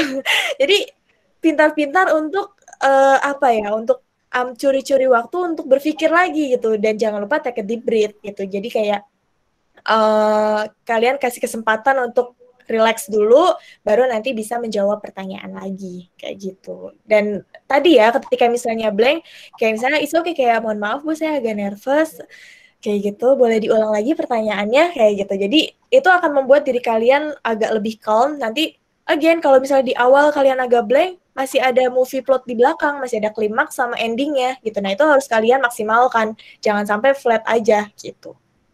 Oke, okay, thank you Kak Pus. Kalau misalnya di IELTS tuh namanya kayak filler Kak. Jadi kayak gimana caranya kita sambil mikir, sambil ngomongin hal lain, paraphrase oh, gitu.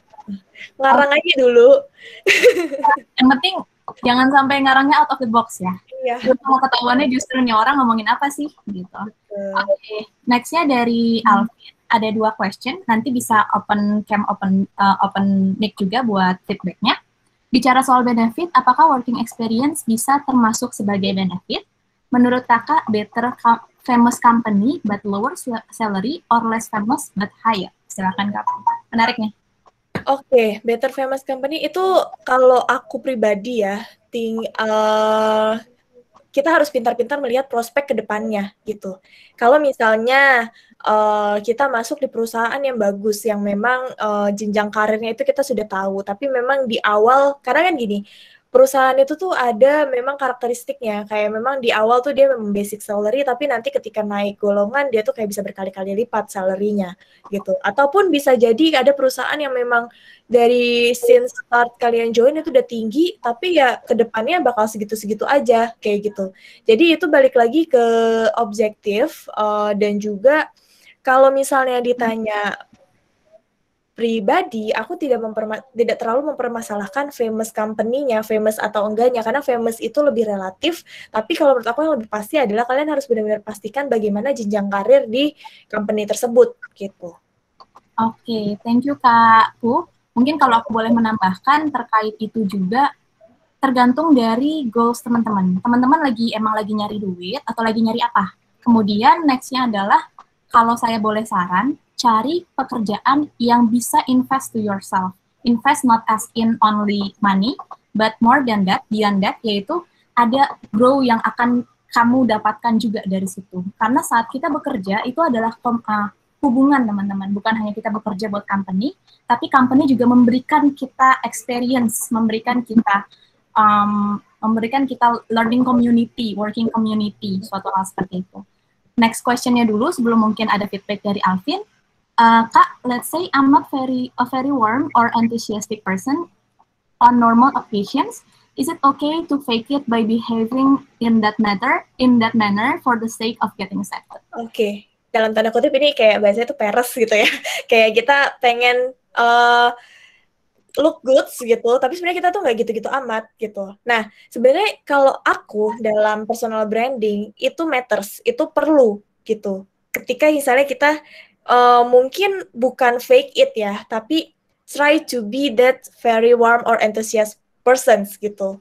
Jadi uh, kita pengen kan kayak sebenarnya gue nggak interest interest amat sih, tapi kayak gue pengen terlihat interest ya gitu. Nah itu perlu itu juga sebenarnya merupakan skills, tapi dengan suatu catatan bahwa itu kalian juga punya kemauan atas itu gitu. Karena nanti ketika misalnya sudah beneran masuk diterima, lalu si fake itu ternyata kalian nggak diikutin dengan trigger trigger usaha untuk bisa menjadi warm enthusiast person. Tentu itu nanti akan sangat berdampak sekali dengan your next opportunities kayak your career will be stuck atau ya udah bakal gitu-gitu aja, kamu nggak bakal punya environment yang bagus kayak gitu. Nah, jadi itu perlu loh karena itu kan kayak mungkin sekarang gue belum warm and enthusiast person tapi by time gue pengen menjadi itu sehingga sekarang di cover cover dikit di fake fake dikit itu oke okay loh biar gue dapet dulu at least gitu Oke, okay, thank you Kapu. Dari Alvin mungkin mau kasih feedback um, atau further question, silakan unmute yourself. Hmm, oke okay, kak. Paling tadi itu sih maksud saya kalau misalkan kayak yang soal famous company, apakah matters kayak misalkan ada pengalaman kerja kayak di Google, terkayak dipandang, oh dia bisa um, dapat kayak kerja di famous company artinya kayak mungkin dia punya kapabilitas gitu-gitu apakah kayak gitu bisa termasuk pertimbangan juga buat next kayak kalau kita apply ke perusahaan lainnya itu sih kak paling Oke, okay, aku setuju juga sih kayak gitu. Mungkin ketika misalnya kita start from famous company, mungkin kayak nextnya kita bisa lebih dapat kredit dari situ. Tapi again, harus uh, kita pastikan dream job yang emang kita tuju tuh bukan hanya sekedar famous atau enggaknya gitu. Tapi benar-benar adalah suatu pekerjaan yang memang fit dan juga align sama your vision sih. Kalau aku lebih menitik beratkannya di situ. Gitu. Thank you um, Alvin dan Pu. Uh, tadi aku nambahin sedikit juga terkait company yang memang besar itu. Salah satu benefitsnya itu adalah kita bisa punya opportunity buat handle big data. Big datanya itu juga uh, bisa jadi uh, big datanya itu banyak banget dan bukan hanya itu juga uh, fast pace uh, work working experience. Nah, hal-hal seperti ini meaning that uh, kalau lo udah dari company yang gede biasanya ya, itu berarti kayak oh lo tuh udah lulusan yang semacam high level bisa dibilang seperti itu. Jadi sebenarnya memang ada exposure seperti itu saat kita bekerja di uh, big company sih sebenarnya. Oke, okay. thank you Alvin good luck for your dream job ya. Nanti siapa tahu kan aku udah tahu tuh muka Alvin nanti ketemu di jalan gitu. Oh, Alvin ya yang dulu nanya gitu. Makanya ayo ketika misalnya kita ikut sebuah event-event segini seperti ini, ayo open cam gitu karena again tadi building network, kita harus apa ya? Benar-benar memanfaatkan event-event seperti ini tuh untuk build community gitu. Jadi nanti kalau nggak sengaja ketemu di jalan, ternyata aku bekerja di perusahaan yang kalian daftar, oh ya aku kenal Marta dulu pernah ikut, dia uh, orangnya entusias banget gitu, dia orangnya polite segala macam. Itu bisa jadi free endorsement buat kalian loh gitu. Jadi ini adalah suatu kesempatan. Jadi thank you untuk teman-teman yang udah open camp. Yang lainnya aku tunggu di next event harus open camp ya. Oke, mungkin bisa kita lanjut ke Hesti. Oke, okay, quote-nya Kak, punten. Oh iya, ini aku ngambil uh, quotes dari Aristotle, jadi kayak all communication must lead to change gitu, karena kita nggak bisa bohong bahwa semuanya itu berawal dari komunikasi gitu. Karena kalau kita nggak bisa communicate, kita nggak bisa communicate well, nggak bisa effective communication, apa yang ada di kepala kita, apa yang ada di pikiran kita, apa yang menjadi maksud hati kita tuh nggak akan tersampaikan dengan baik, dan kita bakal ya udah stuck gitu aja aja gitu. Jadi communication skills itu sangat-sangat penting. Gak harus public speakingnya dibelakangin dulu, tapi at least in personal, ketika kamu bisa menyampaikan uh, maksud, menyampaikan informasi itu dengan cara yang baik dan juga bisa mendapatkan effective communication skills itu tadi. Public speaking nanti kita bahas di sesi selanjutnya. Silakan GSB boleh hubungin kita lagi untuk public speaking. gitu ya. Oke, mungkin itu dari aku. Thank you. Boleh dilanjutin Kak Hesti. Oke, boleh next Kak uh, aku nggak bakal nge-summarize lagi karena tadi udah banyak banget dan berhubung ini sudah waktunya mungkin uh, sedikit lagi kita perlu tutup. Uh, untuk happy sheet-nya uh, ini linknya ya udah dibantu oleh Kak Debbie. Tolong uh, kesediaannya buat mengisi happy sheet. Sambil mengisi kita lanjutkan dengan beberapa perkenalan terkait program atau produk dari Karir Silahkan next lagi Kak. Jadi for your information, mungkin teman-teman ada yang tahu, ada yang masih belum tahu. Dari Career Hack sendiri, so far memiliki uh, empat produk, belum semuanya launch. Pertama ada Career Class, kemudian ada Career Prep, kemudian ada Career Talk, dan Career Blog. Kita elaborate one by one. Silakan next. Oke, okay, jadi uh, for your information, kita sebenarnya sebelumnya sudah melakukan dua karir, uh, dua series career class. Pertama bersama Career Hack Squad sendiri dari um, dari topik-topik yang dimention di sini. Boleh next kak? Kemudian dari karir class yang kedua, ini adalah dari guest speaker. Jadi it's more about the journey from the first uh, recruitment process sampai dengan elaborasi di masing-masing uh, job related to data. Nextnya Kak. Oke, okay, buat karir kelas 3, jadi ini buat uh, teman-teman nih adalah one of the first uh, person to uh, people to know about this. Uh, kita bakal uh, kita bakal launch Karir Class 3 di sekitar mulai di 22 Mei dengan bi-weekly basis. Karir Class itu apa? Itu adalah sebuah produk yang nantinya kita mau sebenarnya suatu hal seperti ini. Jadi kayak two hours on um, online core uh, uh, class online class itu. Kemudian yang dibahas di series ketiga ini adalah pertama terkait SQL, SQL one on one. Kemudian di, di kedua bakal exploratory data analysis karena believe it or not IDA itu sangat penting. IDA itu sangat penting saat kita becoming a data analyst atau analis apa pun itu, atau scientist pun. Nextnya adalah market uh, market segmentation as one of the most uh, use case uh, common analysis.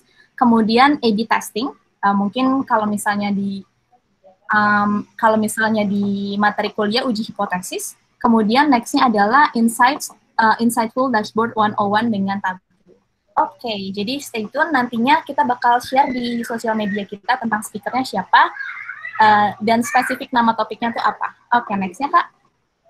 Mau share juga, uh, kita bakal nge-launch nge uh, namanya Career Prep. Career Prep itu apa? Seperti yang dimention, ini terkait kita sebagai mentor atau sebagai coacher membantu memfasilitasi apa sih um, apa sih pain point pain point teman-teman saat preparing karir sehingga ini suatu one on one, one on one um, in a coaching experience sehingga boleh next kak. Nantinya scope scope-nya seperti ini yaitu tentang personal branding assistance kemudian data career introduction karena pastinya walaupun sekarang kita tuh sudah tahu nih oh materi kuliah seperti ini ini pasti ada hal-hal yang missing points yang perlu kita bantu untuk facilitating apa sih missing points tersebut supaya teman-teman lebih tahu tentang data analyst or data role related Kemudian recruitment process guidance. Jadi just in case misalnya teman-teman, oh kak aku mau jadi um, analytics di Google. Nah Google itu requirementnya kayak gini-gini kak. Aku mau dong diskusi tentang requirement ini. Bisa banget di sini. Nextnya adalah FAQ tentang apa pun yang kamu butuh perlukan terkait recruitment proses. Jadi bisa scan barcode di sini dan semuanya ini uh, nantinya bakal kita bakal ada further uh, detail dengan uh, tiga paket di sini uh, tiga dikali 50 menit duration it will worth only 100k gitu. Jadi paling bisa dibilang dua cangkir Starbucks kali ya. Next ya kak. Karir Talk, boleh di next Karir Talk yang kedua. Jadi kita udah sampai Karir Talk kedua, yaitu suatu 30 menit sharing session via IG Live. Uh, sekarang kita lagi ngomongin tentang university representatif, jadi dari masing-masing universitas, gimana sih mereka prepare their career. Next-nya, banyak ya. Next-nya ada karir blog, teman-teman.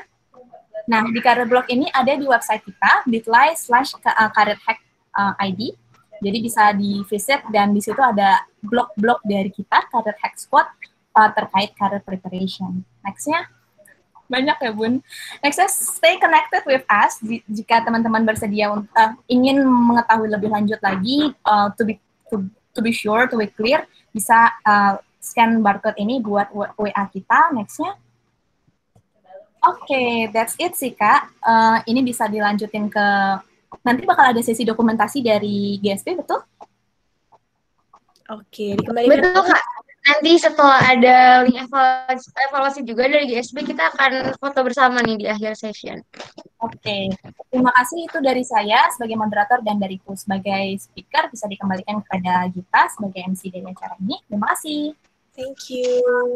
Yeay, terima kasih banget Kak Hesti dan Kak Puspita yang sudah uh, memandu jalannya materi kita pada hari ini. Seru banget ternyata materi dari Karir Hack ini. Dan aku mau mention sedikit tadi kata kakaknya kalau masih pada tertarik nih sama Karir Hack bisa di follow Instagram karirhack.co. Nah, kita lanjut dulu nih teman-teman. Setelah tadi udah dapat insight yang menarik banget tentunya, selanjutnya akan ada sesi uh, pemberian sertifikat nih untuk kedua pengisi acara kita pada hari ini kakak-kakak yang cantik-cantik. Pertama sertifikat untuk siapa dulu nih? Baik, sertifikat Kak Puspita terima materi. Thank you. Selanjutnya ada sertifikat untuk moderator kita. Terima kasih Kak Hesti sudah hadir pada sesi ini. Semoga ilmu yang kakak-kakak berikan nih bisa kita terapin abis ini ya teman-teman. Amin. Terima kasih Kak Hesti. Oke teman-teman, Uh, sebelum foto bersama, mungkin mau ada link evaluasi dulu dari teman-teman GSB dan link presensi peserta apa jadi. Nah, mungkin teman-teman ini sebelum kita akhiri uh, sesi kita hari ini dengan foto bersama, bisa presensi dulu, jangan lupa presensi GSB Connection 3 dan ada link questionnaire. Link questionnaire ini wajib ya di situ uh, untuk uh, sama peserta itu ada ipb.link questionnaire GSB Connection 3. Mungkin kita tunggu kurang lebih dua menit teman-teman uh, bisa ketik dulu linknya. Jangan lupa presensi. Gimana ya dari panitia kurang lebih berapa menit untuk presensi? Oh, lima menit. Oke, okay. Kak Marta udah ngasih lambang tuh, tuh. Lima menit. Jadi, lima menit kita presensi ya. Mungkin untuk memudahkan Oke, udah ada linknya tuh teman-teman di kolom chat kita. Ada presensi GSB Connection 3 dan questionnaire GSB Connection 3. Oh, dari Kak Hesti juga ada nih, uh, CC Happy Sheet. Ini untuk untuk apa nih Kak? Untuk evaluasi hari ini ya Kak? Ya, buat. Aku, aku lagi Oke, aku lagi isi juga. Questionnaire dan presensi, jangan lupa.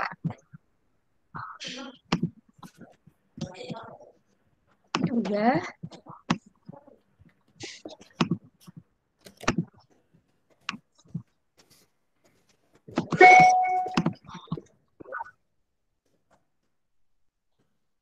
Mungkin sambil nunggu yang lain presensi, aku mau tanya-tanya lagi kali ya Kak, sama Kak Puspita atau Kak Hesti tadi. Um, setelah ini tuh ada karir karir preparation atau karir class Kak. Mungkin tadi aku kurang jelas kita ngobrol itu aja kak sambil menunggu yang lain isi form. Boleh boleh. Iya ada namanya yaitu suatu one on one on one coaching gitu dengan mentor dari karir hack. Oh, oke. Terus kalau karir kelas itu kayak webinar gini ya, Kak. Jadi nanti kita lihat infonya di Instagram karirhack.co. Betul, dan pa pastinya yang mungkin yang membedakan dari webinar-webinar yang lainnya, kita berusaha untuk menghadirkan business case yang memang aplikatif dan insightful dan interaktif. Oh ya, bener banget tuh teman-teman. Kita bisa lihat dari hari ini sebenarnya interaktif banget ya, cuman peserta kita malu-malu nih Kak, atau karena emang pada belum mandi. Nah itu makanya uh, again, karena kan kita sekarang lagi terbatas kondisi ya.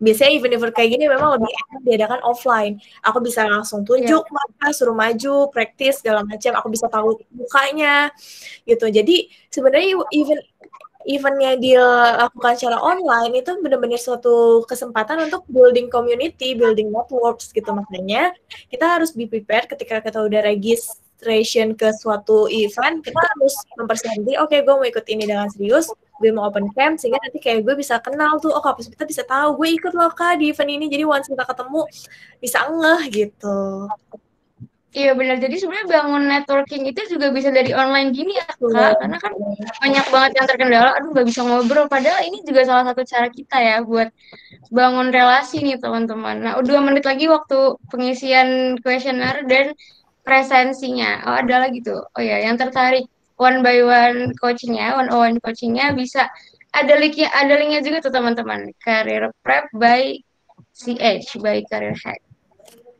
Ini salah satu cara buat kayak apa ya?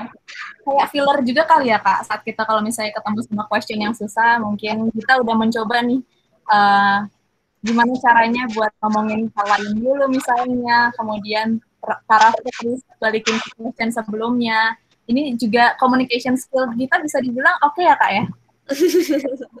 Oke, kita aku belajar dari kakak-kakak di sini nih kan materi kita communication skill. Jadi wah ini harus diterapin juga nih untuk mungkin teman-teman yang nanti tertarik jadi duta IPB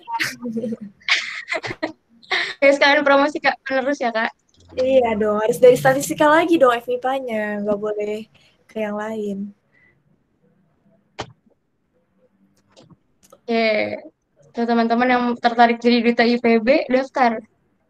boleh one on one coaching sama aku ya biar nanti lulus Nanti pas sama Kak Puspita nanyanya kak kiat-kiat menjadi duta IPB bukan mendapatkan dream job. Masih satu menit lagi. Kalau aku tanya deh kak tentang karir pre- uh, preparation by career hack ini, kira-kira kalau kita ikut ini apa sih hal apa yang kita nggak dapetin di tempat lain nih kalau kita ikut di sini? Selain ya kalau mentor kan banyak ya mungkin bisa nanya cutting atau apa gitu. Apa sih kak yang bisa kita dapetin di sini? Oke, jadi yang bisa didapetin pastinya em, adalah knowledge from the expert. Jadi eh, expertnya ini adalah orang-orang yang sudah experience.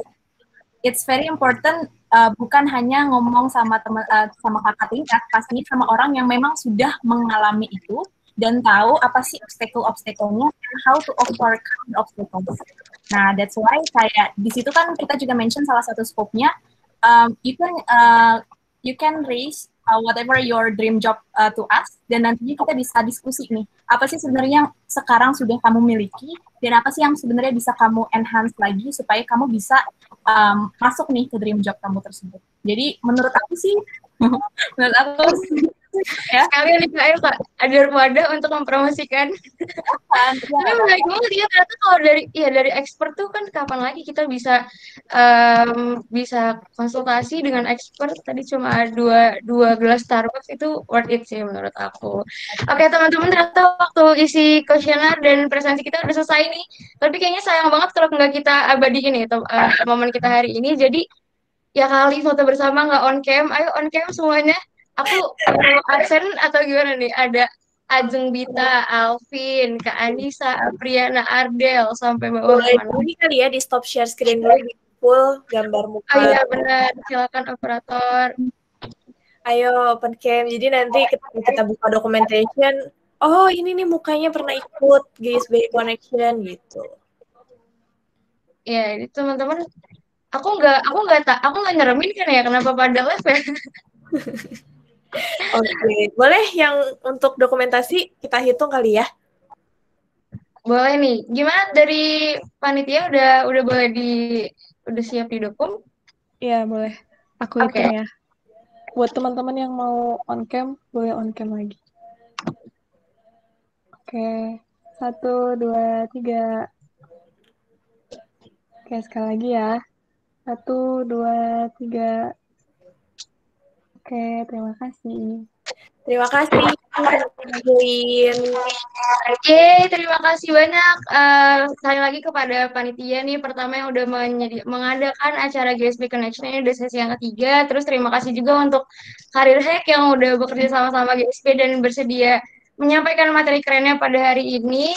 Aku selaku MC, mohon maaf jika ada kekurangan atau salah kata pada hari ini.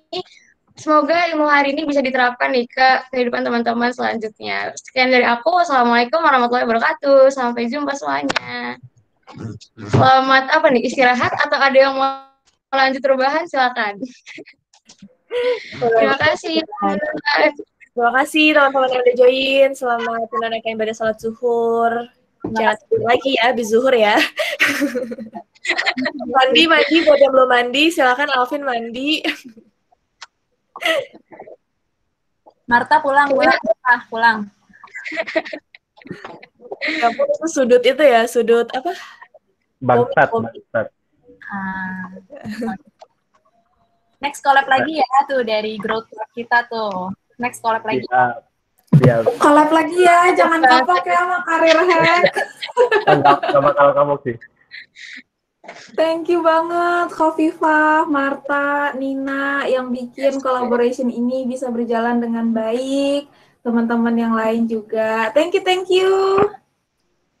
Makasih juga Kak Debi, Kak Hesti, Kak Puspita. Oke deh. Kita live ya. Bye-bye semua. Live Iya, ya. terima kasih. Kak. You, Selamat everyone. istirahat. Bye. Makasih kakak-kakak.